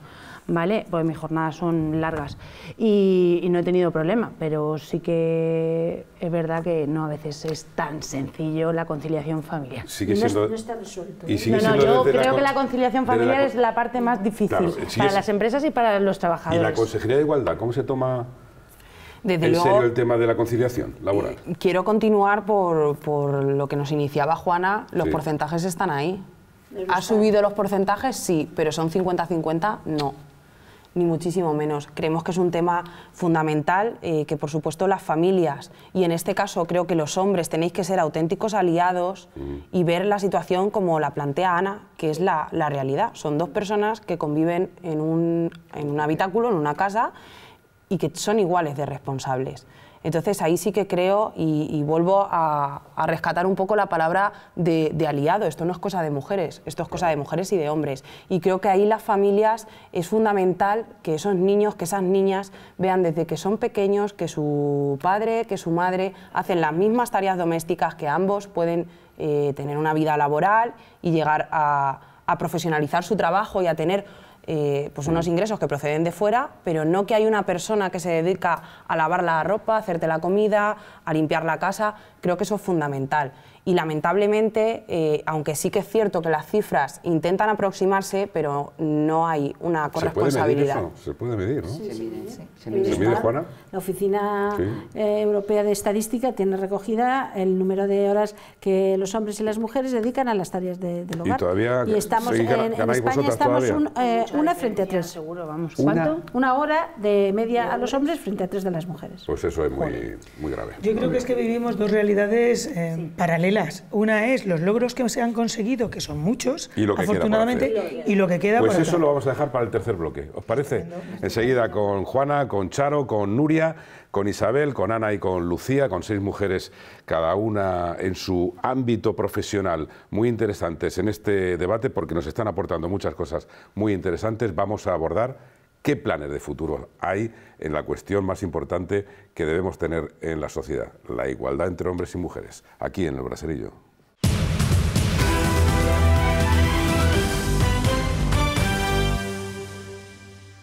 Hoy el braserillo es de ellas, de ustedes las mujeres, las que nos están viendo y que deben de ver los hombres este programa, ¿eh? porque ha dicho Nuria que somos los hombres también, y, Juana y, han comentado que somos los hombres los que tenemos que ir apoyando y que deben ver, como decimos los hombres. Este es un programa en el que hombres y mujeres debaten cada semana, pero que hoy hemos querido que sean las mujeres de nuestro entorno, sobre todo las que dirigen, coordinan, plantean políticas encaminadas al desarrollo positivo de la mujer en la sociedad, como por ejemplo nuestra empresaria Lucía Bonilla, las que nos den luz, nos digan cómo está siendo el camino, lo que en 2020 se hace y, como antes decía la alcaldesa de Vargas, Isabel, eh, qué es lo que llegará. Ahora nos vamos a quedar más cerca. Hemos hablado de, una manera eh, más general, más genérica, pero nos importa y mucho saber cómo se está trabajando y luchando en Castilla-La Mancha desde la discriminación positiva o la acción afirmativa que quiere y necesita esta región, nuestra región. ¿Cuáles son las medidas que se están tomando para reducir la desigualdad en la provincia de Toledo, en las demás provincias, en definitiva en nuestra región, en Castilla-La Mancha. Y nadie mejor, por ejemplo, que Nuria Cogolludo, que es delegada provincial de Igualdad de esa Consejería de Igualdad, porque antes lo decía al comienzo, ¿no? la, región tiene una consejería para la mujer, casi para la mujer. ¿no? Eh, bueno, en este ámbito provincial que tú coordinas también y también regional incluso, eh, ¿qué se está haciendo? ¿Cuáles son los planes de futuro? Se están haciendo tantísimas cosas que tengo la gran suerte de contar con, mi compañera Juana, que seguramente me recuerde muchas, muchas de, las que, de las que me pueda dejar. Eh, en Castilla-La Mancha sí que me gustaría también introducir y destacar eh, que tenemos una red de centros de la mujer, eh, la más grande de, de, España, con 84 centros de la mujer y 14 recursos de acogida. Solo en la provincia de Toledo tenemos 23 centros de la mujer y que en especial para esta semana del 8 de marzo eh, hemos registrado que se van a realizar más de 300 actividades solo en la provincia eh, de Toledo, precisamente para seguir reivindicando los derechos de la mujer y para poder conseguir esta igualdad real y efectiva, no solo de las mujeres, sino de las mujeres y de los hombres. Desde el Instituto de la Mujer se están llevando eh, multitud de, iniciativas, desde distintivos de excelencia que se reconocen a empresas y entidades eh, de Castilla-La Mancha que trabajan en pro de la igualdad y que activan dentro de sus, eh, de sus mecanismos, de sus empresas o entidades, políticas activas en favor de, en este caso, de las mujeres. También tenemos dentro de los centros de la mujer el área laboral, es un área de emprendimiento donde tratamos de, mm, fomentar que las mujeres eh, puedan tener eh, disponibles a su mano cualquier orientación en el, área laboral, tanto si están buscando trabajo como si quieren emprender un, negocio, quieren poner en marcha eh, una idea. ¿Qué más te podría contar? El Instituto de la Mujer, si no recuerdo mal, tiene alrededor de 15 líneas de subvención eh, para asociaciones de mujeres y otro tipo de, de colectivos. Y, no sé si se, me escapa. a mí me parece subrayar, por ejemplo, para el apoyo a las empresas, para fomentar que las empresas eh, sean eh, agentes activos de reducción de desigualdades. Tenemos una línea donde les ayudamos a que su plan de igualdad, eh, que bueno, pues además el día, mañana o pasado, el día 7, entra en vigor un nuevo decreto, una nueva legislación en materia de plan de igualdad, pues si quieren hacer el plan de igualdad, se les da una subvención para um, pues, reducir costes en la elaboración del plan de igualdad. para que los ayuntamientos hagan sus planes estratégicos de igualdad, tenemos también una línea de subvención, para la reducción de discriminaciones múltiples, es decir, como dice nuestra compañera, no es lo mismo ser mujer que ser mujer con discapacidad y en zona rural, entonces proyectos que contribuyan a reducir las brechas que supone por discriminaciones, discriminaciones múltiples. Eh, tenemos una línea de investigación que es importantísima, es decir, hay que investigar por qué lo que pasa y por lo que está pasando, por qué es, es decir, bueno, pues ahí se dan mm, líneas de investigación desde la violencia de género, al ámbito laboral, eh, etcétera, etcétera. Es decir, tenemos una línea de investigación importantísima también. Y, desde el ámbito de la discapacidad, Charo, como representante además del, CERMI, eh, como secretaria de la Comisión de la Mujer CERMI de Castilla-La Mancha, eh, ¿qué se está haciendo en nuestra región? Vale. Antes de nada, no, eh, no quiero olvidar, por lo menos, el, que es importantísimo, pues esas investigaciones que decía Juana y sobre todo a la hora de conocer datos. Es decir, es muy importante el, eh, que existan estudios eh, sobre la realidad de, las personas con discapacidad. Es decir, el meter en, todas las políticas de discapacidad lo que es la variable de género y al revés. Decir, eh, contamos con muy poquito estudio, nos, podemos ir a los datos del INE del, del 2008, que, que, se basa en información del 2007 para tener cierta información o algún estudio posterior. Eh, también existe con respecto al mercado de trabajo lo que es la fuente de, de Odismec, que es eh, una fuente de Fundación 11 y de Inserta Empleo junto con el Fondo Social Europeo. Entonces es importantísimo poder contar con esos datos, esos estudios, para conocer la realidad de las personas con discapacidad y, eh, lógicamente, para saber en qué medida son efectivas esas políticas que se están implementando en general por, parte de las distintas administraciones. Es muy útil, por ejemplo, la, eh, lo eh, que surgió, de, o bueno, o se aprobó desde abril del año pasado y sobre todo en esta región, ¿no? el hecho de, poder viajar las personas con discapacidad que se, aprobó por parte de la Administración autonómica, autonómica a mitad de precio. ¿no? Es decir, con eso facilitamos que las personas con discapacidad se muevan bueno, a, nivel de, toda Castilla-La Mancha, ¿no? a precio de, bueno, a, mitad de precio, ¿no? Todo. Entonces, este tipo de, políticas viene muy bien para intentar favorecer, por ejemplo, la, movilidad. ¿no? Es verdad que, que Castilla-La Mancha más es pionera en, en una ley muy importante y, sobre todo ha sido también pionera en, otros, en otras muchas acciones. ¿no? Y la provincia de Toledo, Ana coordina precisamente el servicio de, eh, ese servicio de la Diputación de Toledo, de la Institución Provincial de la Educación, de la, de la Igualdad también. ¿no? Eh, hay muchas acciones, antes hablábamos de algo más lúdico, ¿no? como el Festival Únicas, que, que al final también visibiliza mucho la, la realidad, porque está presente en muchas localidades, ¿no? Pero dentro de la Diputación lo tenéis bastante claro, y además lo decía, ¿no? Que el, el presidente de la Diputación eh, es, una, una, diputación también feminizada, podemos decir, ¿no? Es una diputación feminista, no me cabe la menor duda. Y afortunadamente, mira, en la, en la anterior legislatura, ya en el año 2016, hicimos algo que, fue, que ha sido pionero a, nivel de Diputación y si es el redactar una estrategia de igualdad de género en colaboración con el Instituto de la Mujer a través de, a través de con la Junta a través del Instituto de la Mujer en el cual se marcaba una serie de políticas y dos ejes fundamentales sobre los que iba a trabajar eh, la Diputación Provincial, que era la transversalidad de género y la prevención de la violencia de género. En esa estrategia que es un documento muy amplio, aprobado por el Pleno, han tenido cabida un montón de programas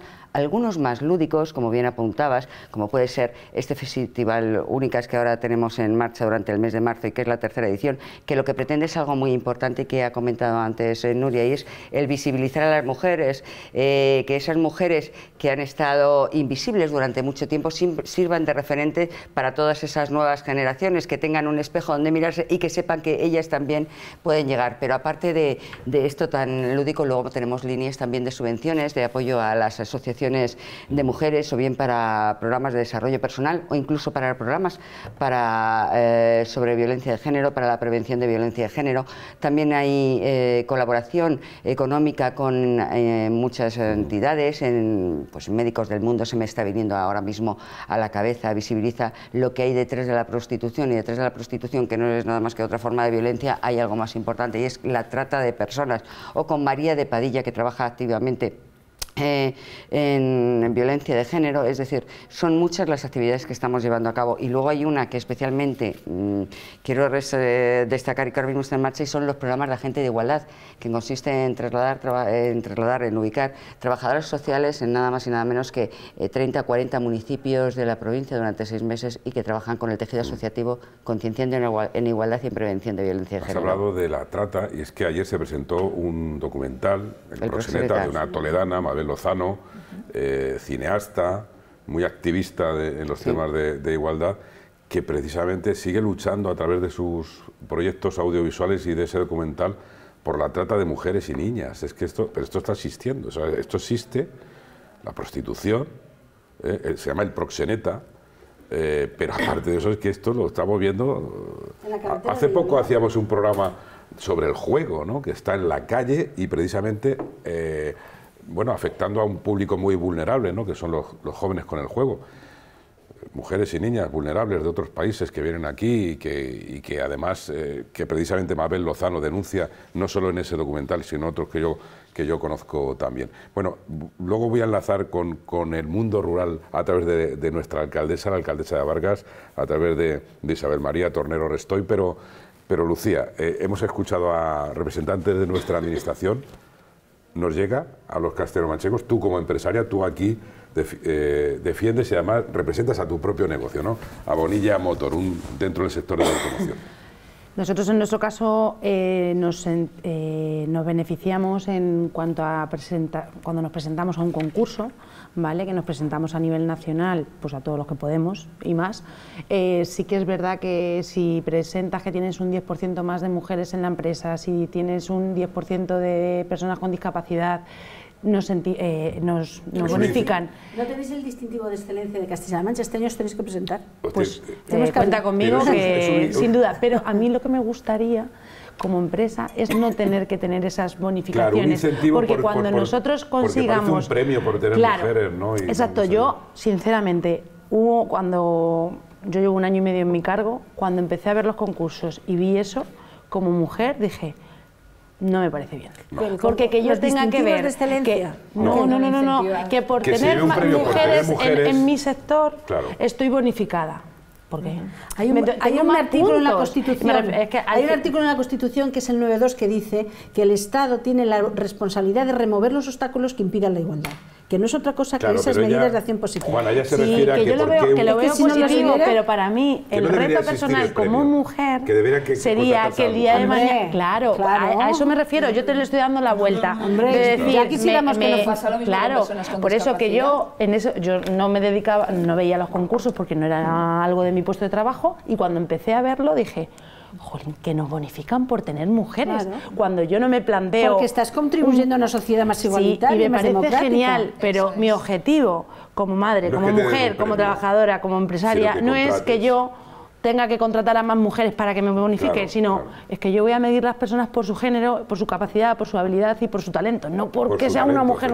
es que eh, ya, pero que, que es verdad que, me eso cuesta, está muy bien, pero es que eso no funciona. Pero es lo que tenemos que tender y lo que nosotras tenemos que pelear para que el día de mañana nuestros hijos, nuestros nietos, o quien, las generaciones que vengan detrás no tengan que ver esto, que no tengamos que estar bonificadas una empresa por contratar a mujeres o, contratar a personas con discapacidad. Voy a preguntar a, Isabel y ya hablamos porque esto nos va a interesar a, todos, a, todos y a todas.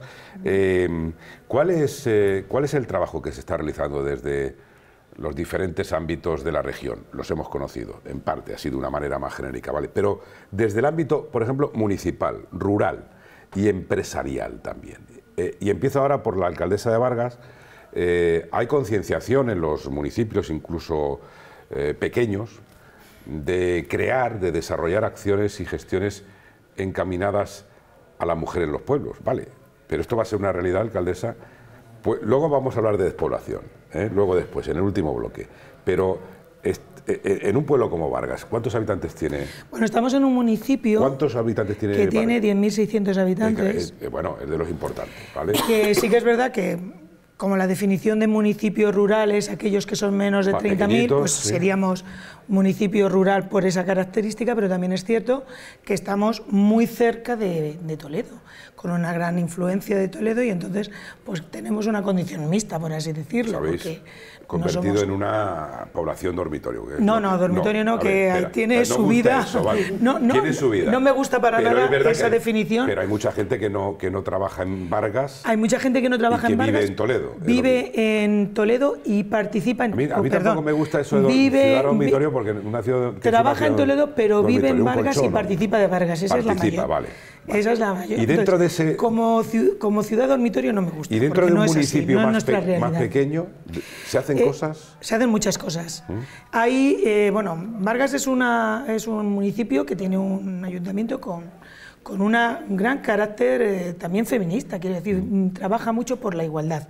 Desde la Concejalía de Igualdad se está desarrollando una política a través del Centro de la Mujer, eh, que tenemos y que además tiene influencia en nuestros municipios del entorno, como son Recas, Camarenilla, Arcicollar y Yunclillos, pues se desarrolla una política de, igualdad en el sentido, primero, de atender a aquellas mujeres que lo necesitan por cuestiones, por desgracia, de violencia de género, que no hemos entrado a hablar mucho de ella, pero que es una de las grandes lacras y uno de los grandes, em, digamos, problemas. problemas que no hemos conseguido atajar al 100%, que estamos avanzando, que es verdad que cada vez hay más leyes que defienden a la mujer y que hay muchas más posibilidades, pero que por desgracia ayer, sin ir más lejos, pues teníamos la noticia de mujer que mm. había muerto en manos ayer de... una en Córdoba, sí. Sí, de su pareja, con lo cual eh, por desgracia, seguimos viviendo esa realidad. Bueno, pues en Vargas se atiende a las mujeres que lo necesitan en todos los ámbitos, tanto en el aspecto jurídico, psicológico, em, laboral, social, porque tenemos un equipo interdisciplinar, por así decirlo, de profesionales que dominan esas áreas dentro del centro de la mujer y por eso te digo que hay unas políticas que se avanzan hacia la igualdad. Y antes iba a comentar, y ahora aprovecho para decirlo, en torno a la bueno, al Día de la Mujer, eh, el 8 de marzo, pues hemos realizado una serie de actuaciones y, que se, y otras que se van a ir desarrollando. Eh, en concreto, eh, este fin de semana tuvimos la, primera feria de igualdad en Vargas en el que lo que pretendíamos era crear un espacio de encuentro para aquellas asociaciones en el que, eh, tanto de hombres como de mujeres, que vienen a contar una realidad de cómo están viviendo la igualdad y qué planteamientos tienen. La verdad es que fue un encuentro muy interesante, hubo un debate muy, muy constructivo en el que desde diferentes ópticas, pero todas encauzadas hacia la lucha por la igualdad, eh, se, encaminó ese debate y te digo que interesantísimo. Y una serie de actividades más en función de esta, enfocadas de, esta, de este día. Vargas no es una población dormitorio, porque las poblaciones dormitorio no existen.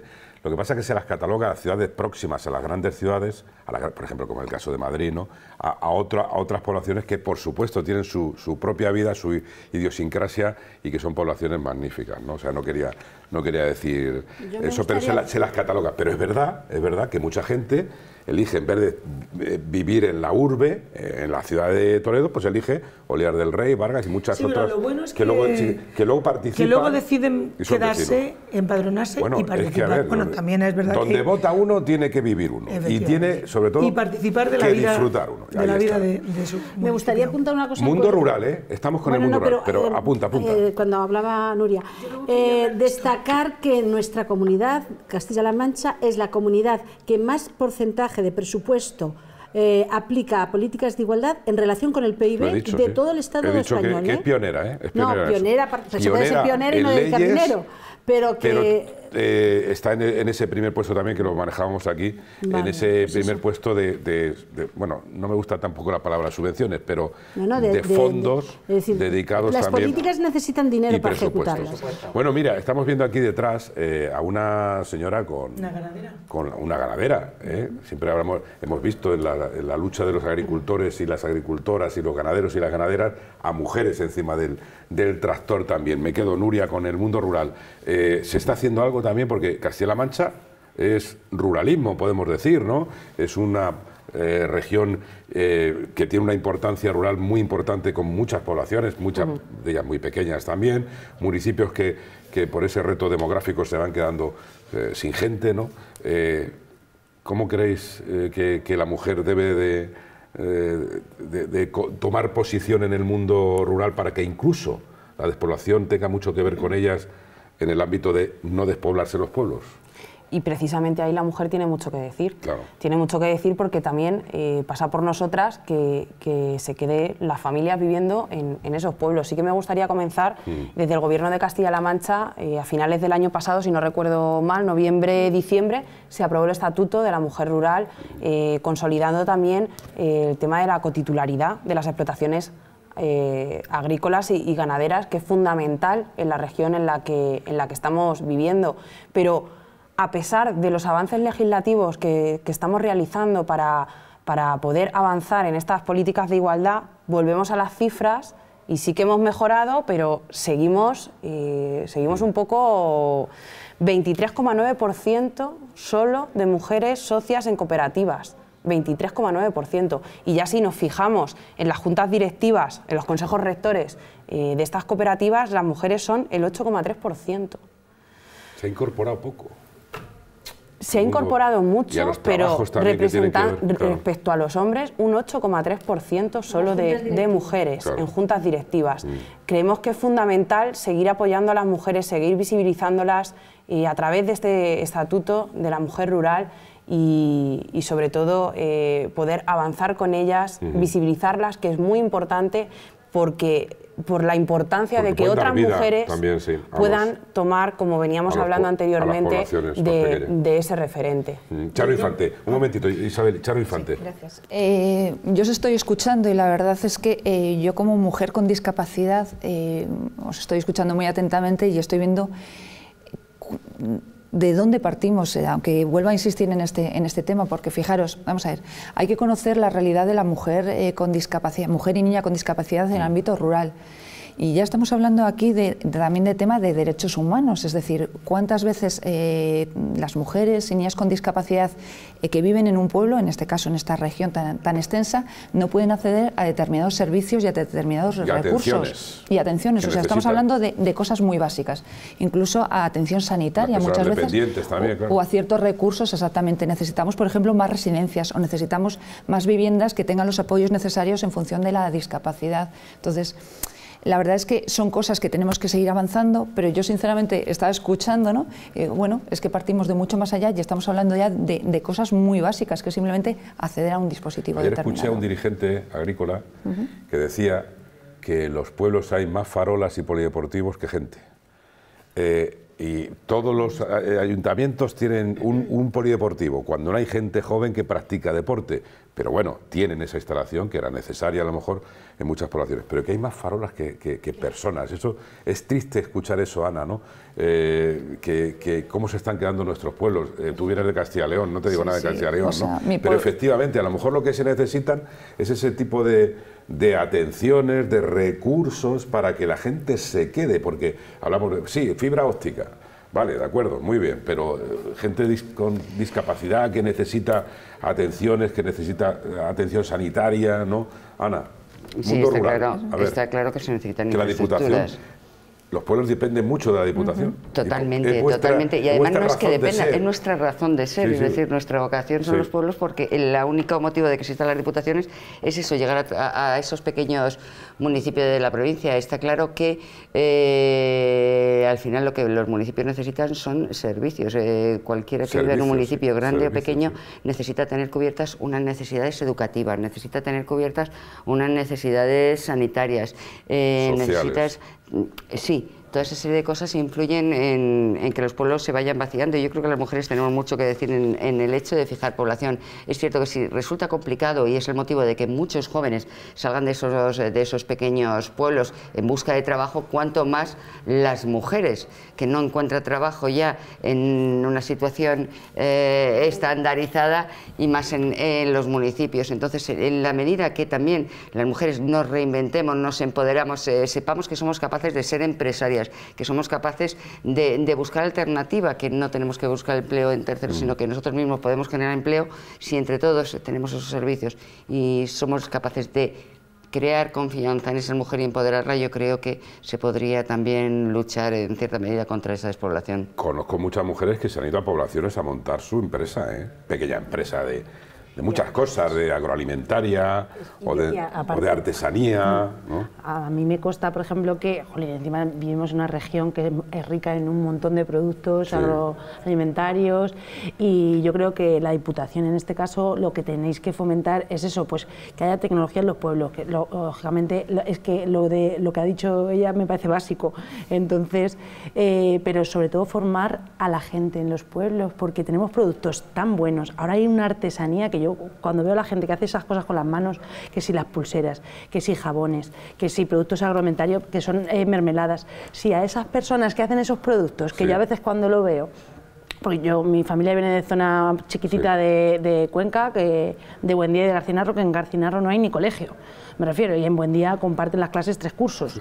Y, pero hacen unos productos que yo siempre cuando llego, me lo muestran, que si empiezo a decir, ah, pues con esto subimos, hacemos una página, hacemos un blog, empezamos a exportar. Eh, se me vienen un montón de cosas y claro, parece que le sales en chino.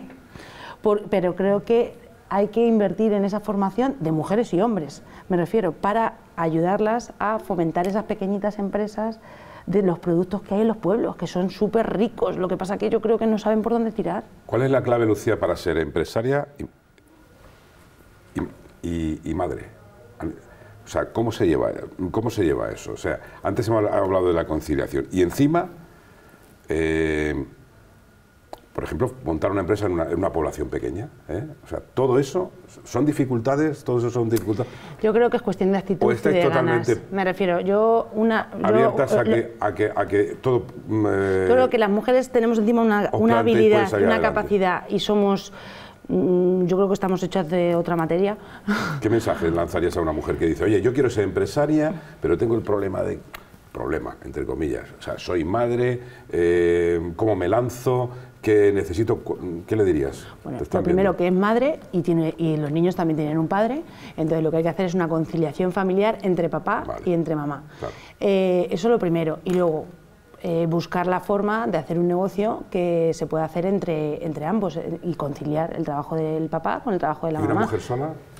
¿Y una mujer sola? Pues eh, si tienes custodia compartida, pues lo tienes fácil porque al final te cuadras tus horarios. Y yo, una de las cosas y los mensajes que lanzaría sobre todo a las mujeres es que todo lo que nos propongamos, cualquier reto, todo, que no nos pongamos barreras nosotras mismas, sino que vayamos a por ello. Podemos, podemos con ello y yo lo tengo claro. Y he montado diferentes empresas en mi vida universitaria, de, de todo, eh, de exportación de vinos, lentería femenina. Eh, unos me han ido bien, unos me han ido menos bien. Pero ha sido una experiencia increíble, pero no como mujer, sino como persona. Entonces no he tenido límites y creo que nadie los tiene que tener. es cuestión de actitud y de ganas de, hacerlo y también tener un respaldo muchas veces económico, por supuesto, pero, pero si tienes ganas, unas veces te equivocarás, pero al final sale. Es cuestión de actitud. nuestra alcaldesa preferida esta noche. Bueno, hablando ya del mundo rural, para terminar con este bloque, ya acceder al último, que, en el que vamos a hablar de cosas tristes, ¿no? como por ejemplo la, la violencia contra las mujeres. ¿no? Eh, bueno, eh, vivir en un pueblo, eh, disfrutar de, una población, más o menos, no es tan pequeña Vargas, esa localidad, ¿no? bueno, un pueblo es, un lugar donde se necesitan productos, donde se necesitan servicios y que estaría abierto cualquier población, siempre hablamos de, venga, empresas que vengan a los pueblos a, a ver este reto de la despoblación, pero cualquier persona, como dice Lucía, incluso cualquier mujer puede montar una empresa en una, en, una población. ¿no? De hecho, las hay. Y Mujeres que empiezan a, utilizar los medios, las nuevas tecnologías, pues para lanzar sus, sus productos. ¿eh? Y de hecho, mira, en esta primera feria que tuvimos, eh, alguna empresaria de la localidad vino a, a presentarnos sus, sus productos y está va bastante, está muy contenta. Yo simplemente quería hacer antes, cuando intervino Nuria, o apostillar solamente una cosita, que cuando hablaba del el hecho de que no hay eh, mujeres en, las cooperativas rurales, o sea, en, la parte, sí, digamos... cooperativas de las Pero sí, digamos en, la, en, las juntas directivas de las cooperativas. Era por lo que hablábamos al principio, es que hay dos realidades paralelas.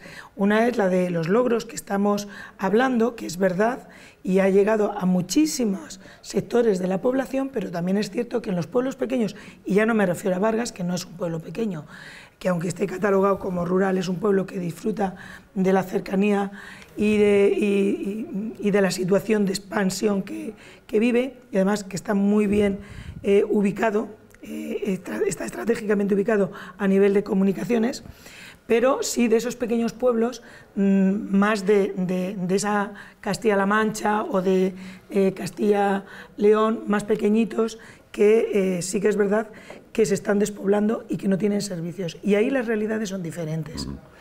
Bueno, que no solo hay eh, alcaldesas en poblaciones más pequeñas en Castilla-La Mancha. Curiosamente, las grandes ciudades de Castilla-La Mancha están ahora mismo regidas por mujeres, ¿no? El caso de mi ciudad, Talavera de la Reina, Contita García Toledo, Estamos a un paso de ser presidentes de la ciudad, ciudad Real. paso, y presidentes de la Diputación. Ya, ya solo nos falta un escalón. Pero Juana, fíjate, eh, todavía, con perdón, eh, en el caso de la, de la política y de algunos partidos políticos, ahí está el macho alfa. Claro. ¿eh? Y siempre vicepresidentas, vicepresidentas, pero nunca presidente. Es el momento de, que España tenga una presidenta. Te voy a dar un dato, y no es hasta 2004, con María Teresa Fernández de la Vega, y que es el primer momento en el que una mujer no monarca preside un Consejo de, Ministros. Bueno, y luego también ha habido mujeres ya presidiendo las, Cortes, ¿no? Eh, tanto del Partido Popular están eh, se han equiparado, tanto el Partido Socialista como como el Partido Popular, hay presidentas en el, en el Congreso, es decir, es un alto cargo del, del, Estado, ministras de importantes, de importantes bueno, sobre todo importantes ministerios como ha sido el Ministerio de Defensa, también de los dos partidos, ¿no? E incluso, bueno, pero ahora yo, sí, hay muchas vicepresidentas, pero hay pocas presidentas. Yo eh, hay muchos países que... Estamos a un paso. Estamos a un pasito, ¿no? ¿Se logrará, Isabel? Isabel tendremos... sí. ¿Sí? Habrá un futuro, sí. no te digo que sea inmediato, de acuerdo? Sí, sí, por supuesto, y cada vez estaremos más cerca de llegar a ello. No si tiene talento, ¿eh? Hombre, ah, por supuesto. que eso es Porque cuando siempre hablamos, cuando hablamos de de hombres nunca se dice. Porque no nos gusta, Juana, no nos gusta eso del cupo, ¿no? De decir, a nadie le gusta. En la sociedad está eso del cupo. No, porque seamos...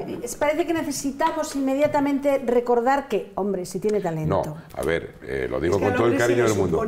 Quiero, no, se ve que al hombre se le supone. Bueno, perdón, perdón, ha habido hombres que han sido unos auténticos tuercebotas. En el aspecto, yo creo que, se podía haber quedado en su casa. Eh, lo que quería resaltar es mm, que hemos hablado poco del movimiento feminista de la gente joven, de las chicas jóvenes. Es decir, ese movimiento es imparable es imparable. Es decir, eh, el 8M, las que están apretando, las que están empujando, son ellas. Y ellas no van a permitir que esto siga durando mucho. Es esto de no tener presidentas y demás, porque están muy enojadas y muy enfadadas con la situación que ven de desigualdades. Por tanto, es esa fuerza joven y, potente que va a hacer que esto tiene que cambiar. Pues ojalá cambie. Último bloque, enseguida hablamos de más cosas. Se nos van a quedar muchas en el tintero, pero yo creo que estamos pasando eh, sobre todas las cosas que os interesan a vosotras. Hoy sois las las protagonistas y vuelvo a repetir, me hubiera gustado que mi compañera Magdalena hubiera estado aquí hoy presentando, así estaba previsto, pero bueno, un pequeño tema de salud le ha impedido dirigir este debate que estaba, estaba pero yo estoy aprendiendo tanto. Estoy, aprendiendo, estoy muy bien acompañado. Bueno, no sé si puedo decirlo porque luego le voy a decir yo a Juana a ver algo del... Oye, que yo soy simpática y maja. ¿eh? No, y guapísima. que soy un caso. Y aparte, y, político, y, te, y, te, puedo decir que te quiero también, ¿no? y te quiero. y lo que quiero... quiero Pero, a ver, nos vamos a parar un poquito Históricamente las feministas hemos sido muy impertinentes. Muy toca. Muy impertinentes, pero porque es, que nos toca, es decir, es que siempre hemos sido impertinentes porque siempre hemos reivindicado cosas que estaban ahí y nos ha costado mucho conseguir. Tú imagínate lo impertinentes que fueron las sufragistas. Pero estas tierras de que ¿Hay, hombres el voto. ¿Hay hombres feministas? Por supuesto. Yo conozco alguno, ¿eh? No, tú no lo eres. Yo respeto siempre a la mujer y si las puedo ayudar, si está en mi mano, no solamente, siempre. Eso hay que ir más allá. Eh, el, pero el respeto es, pero yo aprendo El respeto a todos, a los hombres y a, las mujeres. A todos. Bueno, eh, seguimos. Hay que ponerse del lado de las mujeres. Recta final enseguida después de, enseguida, después de unos anuncios y anuncias. Bueno, luego hablamos del lenguaje inclusivo.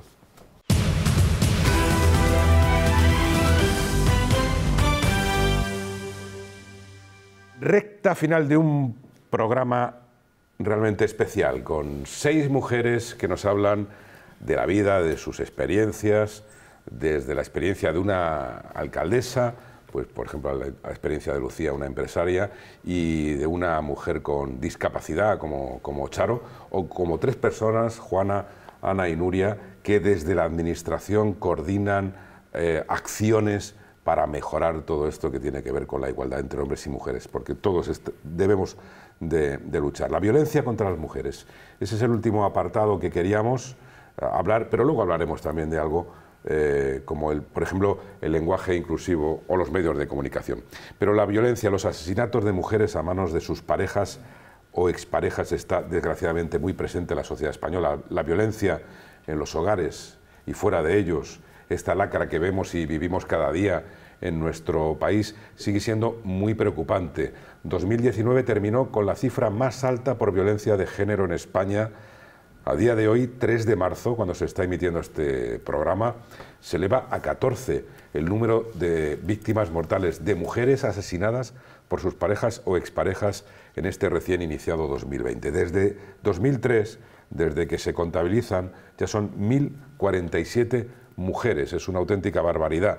Nos gustaría, por supuesto, no dar estas noticias. Aparece ahora en su pantalla, lo están viendo, el número 016, que es el teléfono de atención a víctimas de violencia de género. Un número totalmente gratuito que no deja huella en la factura y que no debéis, si nos estáis viendo, dudar en marcar si vivís una situación de esta índole. Y más trágico y triste es tener, por ejemplo, que contar que, antes lo decía Isabel, precisamente ayer, ayer, día 2 de marzo en Córdoba, en, un pueblo de la provincia de Córdoba, en Posadas, una mujer de 67 años que se estaba divorciando, eh, fue asesinada por su ex marido. En esta materia las cifras continúan y como en el caso del año pasado aumentan. Eh, no sé, Nuria, si esas 14 víctimas, esas 14 mujeres, eh, y este año 2020 vamos a, a ganar al 2019 en esas tristes cifras, ¿no? Pero hay que hablar un poquito de esto de la violencia de género. De hecho, esas cifras eh, son datos nacionales, según la estadística nacional, si tenemos en cuenta los datos de la comunidad autónoma. Recordemos que la Ley para una Sociedad Libre de, Violencia de Género de 2018 de la Comunidad Autónoma de Castilla-La Mancha eh, transpone el Convenio de Estambul, donde amplía eh, todas las violencias que, que, sufren las mujeres y lamentablemente en nuestras estadísticas recogemos dos casos más. Uno, el de la nena que fue asesinada el día de Reyes por su padre junto a su, a su madre y el caso del asesinato que hubo en Toledo eh, pocos días después, si no recuerdo mal. Del año, el, día, el día 10, no, fue posterior, al día de Reyes, que fue los asesinatos en Barcelona, si no recuerdo mal. Por lo tanto, nuestros datos van más allá y recogemos casos de violencia de género. Eh, eh, que terminan en, en el fallecimiento por asesinato eso sí que es muy importante, enlazando también con el tema que comentábamos antes del lenguaje y que llamar a las cosas por su nombre. Y estamos hablando de asesinatos, no de muertes. Las mujeres no se mueren solas, sino que las matan.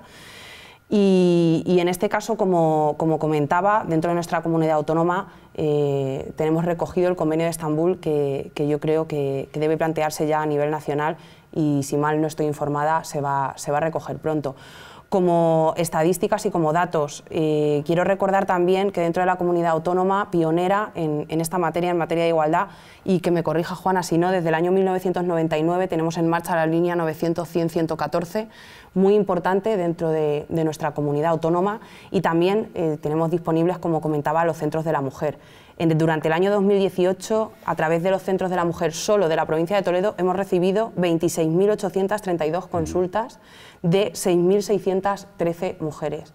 Eh, creo que son datos muy importantes. Eh, el porcentaje de estas, de estas cifras, eh, creo recordar que estaba en torno a consultas de violencia entre un 20 y un 30%.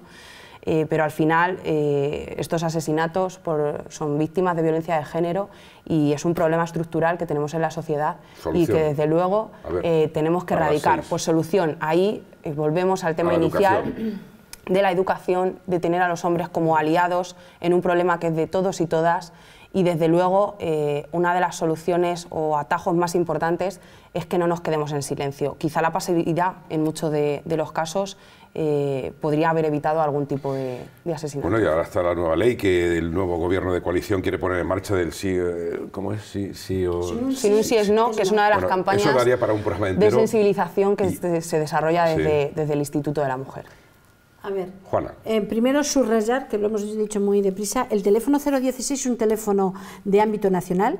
Las mujeres de Castilla-La Mancha que marcan el 016, automáticamente esa, llamada rebota al teléfono regional, que es el 900 100 114. Bueno, pero como es más fácil el 016... no, pero era un poco porque se supiera, porque eh, las prestaciones que da nuestro teléfono es más, amplio que el 016. Desde aquí, desde Castilla-La Mancha. Es decir, no tienen por qué saberse el 900 100 114, pero con el 016 rebota a nuestro, a nuestro Lo importante es que utilice. Efectivamente. Luego, por otro lado, poner, eh, visibilizar que tenemos una ley contra la violencia de género aprobada en, octubre de 2018, donde el concepto de violencia de género se amplía a lo que define el convenio de Estambul, que es la referencia en materia de violencia de género, porque mm, hasta aquí estamos hablando de violencia de género, aquella que ejerce el hombre que ha sido pareja o es pareja. Pero eso fue un acotamiento que cuando se hace la ley orgánica contra la violencia de género, se acota esa circunstancia porque, bueno, más vale eso que nada. Pero bueno, el convenio de Estambul establece otras casuísticas que el Estado español lo ratifica en el 2014, pero que el Estado español no ha modificado todavía la ley orgánica. Te pregunto, Juana, ¿y por qué tantas acciones?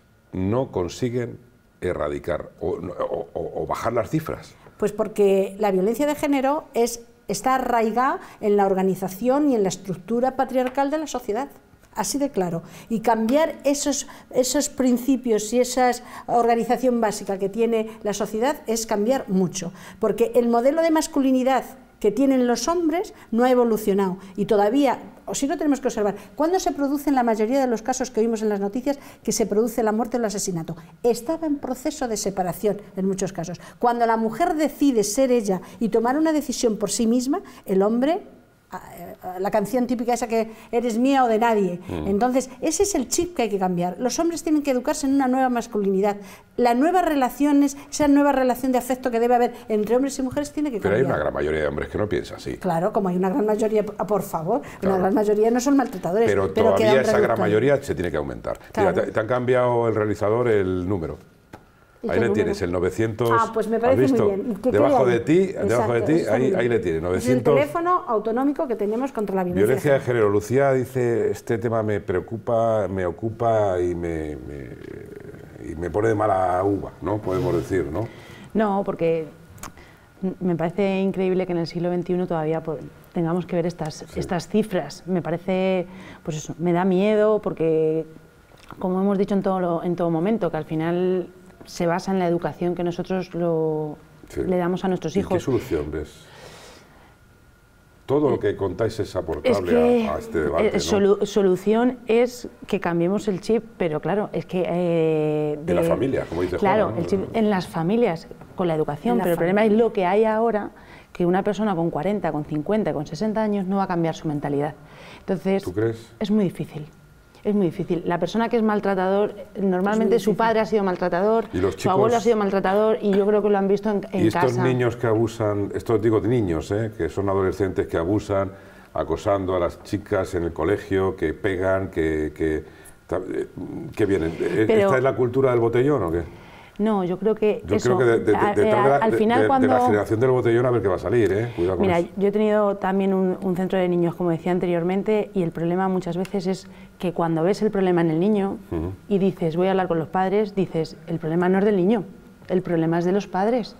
Me refiero, al final les inculcamos todo, cualquier movimiento, cualquier eh, actitud que tenemos, se lo inculcamos. Y si un padre es maltratador ah, verbalmente, porque no hay que pegar para ser maltratador, me refiero que es el maltrato verbal. Entonces, que no es un correlato directo, eh, hijos de padres maltratadores que sean maltratadores, no es la idea que teníamos y hay investigaciones por ahí donde no hay una correlación directa. Cuidado que Juana es la, no, pero que jefa en el acervo popular de documentación claro y sabe todo, ¿verdad, Nuria? claro, para eso es el servicio de investigación. como todo en la adolescencia, las influencias son imprescindibles, pero ahí también estamos los padres para ver por dónde van nuestros hijos, con quién se relacionan y, ver, porque las tendencias de agresividad en los niños se ven desde pequeños. Os pido brevedad a todas porque es que además no quiero que los medios de comunicación se nos escapen eh, en este asunto. Ana Gómez, eh, violencia de género.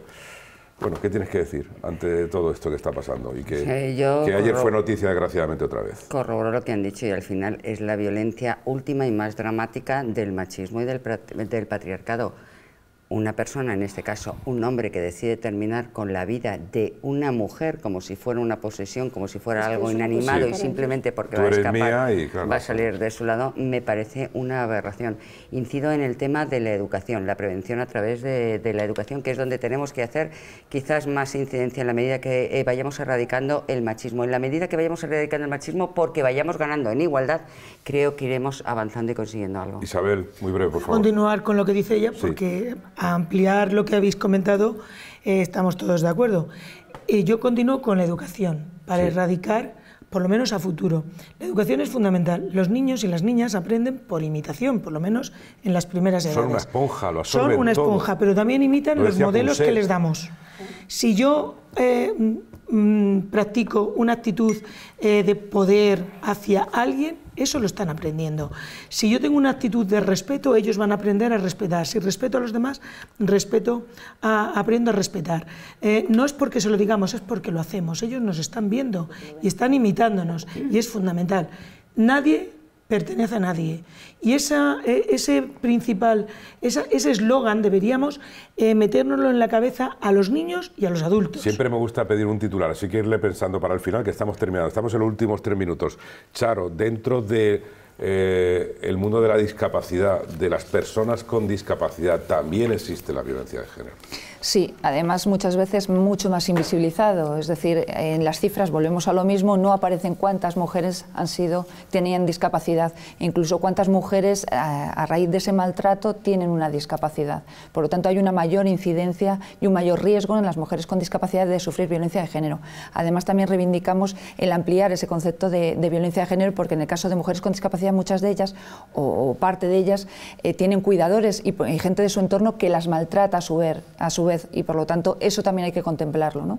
Mm. Entonces es importante también eh, pues bueno, ver las cifras, ver eh, también otro tipo de, maltrato ¿no? que puede haber hacia las mujeres con discapacidad y también comentar eh, brevemente que este miércoles pasado una proposición de ley se aprobó en el, en el Senado contra, una, bueno, contra una parte del Código Penal, un artículo del 126, 156, perdón, donde se hablaba que, sobre las esterilizaciones forzadas hacia las mujeres con discapacidad que tengan una incapacidad judicial previamente, es decir, que en ese caso no estaba penado y por lo tanto se ha, casi por unanimidad se ha aprobado y está en trámite parlamentario. Por lo tanto hay que luchar y hay que erradicar y sobre todo la educación es fundamental y formar a los agentes que están en contacto con esas mujeres para detectarlo de una forma temprana. Voy a ver solo la espita un poquito nada más de, del lenguaje inclusivo que además dice Juana que, que los medios de comunicación debemos debemos de, utilizar para educar también a nuestra audiencia en las radios, en los medios de comunicación. ¿no?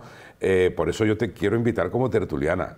Eh, y a todas también, eh, que vengáis cuando os apetezca a este, a, este, a este braserillo. ¿no? pero, Juana, es importante el lenguaje inclusivo, aunque yo tengo mis discrepancias y muchos espectadores también en lo de ahorrar, ¿no? Porque ahorrar, dice la RAE, hay que ir ahorrando palabras y no utilizar tanto. Bueno, eh, siempre ahorramos. Es un debate interesante. Pensamos en ahorrar cuando le toca a las mujeres. ¿Por qué los medios de comunicación tenemos, somos la llave también incluso para A ver, los medios de comunicación son un potente instrumento pedagógico para todo y sois transmisores de valores, absolutamente. Es decir, nuestros niños están cinco horas en el colegio y diez delante de los medios de comunicación, de las redes sociales y demás. Por lo tanto, eso de la escuela como elemento educador ha quedado casi en segundo ¿Y supervivientes y todo eso? Pues fíjate. Pues fíjate, donde la mujer sale como pues fíjate, es decir, ese tipo de programas lo que está haciendo es reafirmando mucho más los modelos históricos machistas de lo que es ¿Y las relaciones de pareja. Juana? Pues claro. pero, tienen el, las canal empresas, Viajar las empresas de comunicación, ¿eh? las empresas de comunicación tienen un principio que es la, responsabilidad social. La audiencia, no, claro, que deberían de asumir y para, eso están las políticas de medios de comunicación que no respeten y no tengan en cuenta esos principios, pues no tener subvenciones, etcétera, etcétera. Pues mira, Juana, hay algunas televisiones, yo no, no critico a nadie, simplemente hablo de la realidad, porque a mí me gusta decir la verdad siempre. Hay televisiones que reunirían a seis mujeres en una isla desierta, como ha ocurrido, eh, para ver si otros seis hombres vienen e intentan ligar con ellas. Nosotros hemos, hemos, bueno, nosotros hemos, hemos reunido a seis mujeres para que nos hablen, como antes he dicho, de la vida, de las cosas, de lo que os preocupa a todas. Y luego hay otras televisiones, esta no, que por ejemplo tienen a brujas, tarot por la noche, esta televisión no, y también emiten publicidad del juego, esta tampoco. Esos son los valores de un medio de comunicación como este, que hoy ha reunido a Nuria Cogolludo, a Charo Infante, a Juana López, a Isabel María Tornero, a Lucía Bonilla y a Ana Gómez, con motivo del Día mm, Internacional de la Mujer que vamos a celebrar y debemos celebrar hombres y mujeres el día 8 de marzo, aunque como decía Juana también al principio, podemos hacer este programa cuando queráis. Una frase, un titular para todos. Lucía, empiezo contigo. Igualdad, mujer. A ver. No tenemos barreras. No tenéis barreras. Ana Gómez. Pues solamente un deseo, que seamos todas libres e iguales. Isabel. Yo con respecto a la violencia de género, yo soy mía, no pertenezco a nadie. Muy bien, Nuria.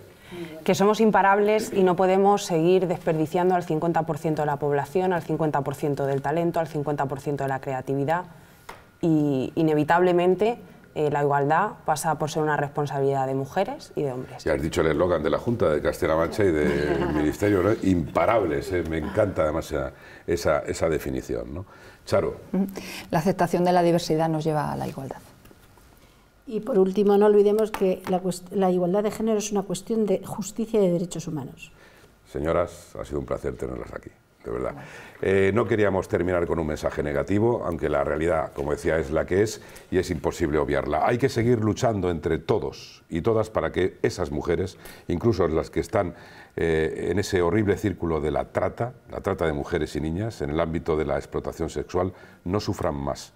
Y además es importante y vital que las mujeres se sientan o sintáis seguras y en el ámbito de la sociedad que avanza en el ámbito social, empresarial, profesional y laboral, las mujeres deben, debéis sentiros seguras, también en vuestros hogares, en la escuela, en la educación, en el trabajo y en las calles. El mundo seguirá floreciendo cuando las mujeres no estén luchando por sobrevivir. La sociedad, el mundo, el planeta será mejor cuando todos estemos en la misma balanza de oportunidades y de derechos. La semana que viene les espero con más contenido, con más actualidad y con más opiniones. Será dentro de siete días aquí en el Braserillo. Hasta entonces, que sean felices.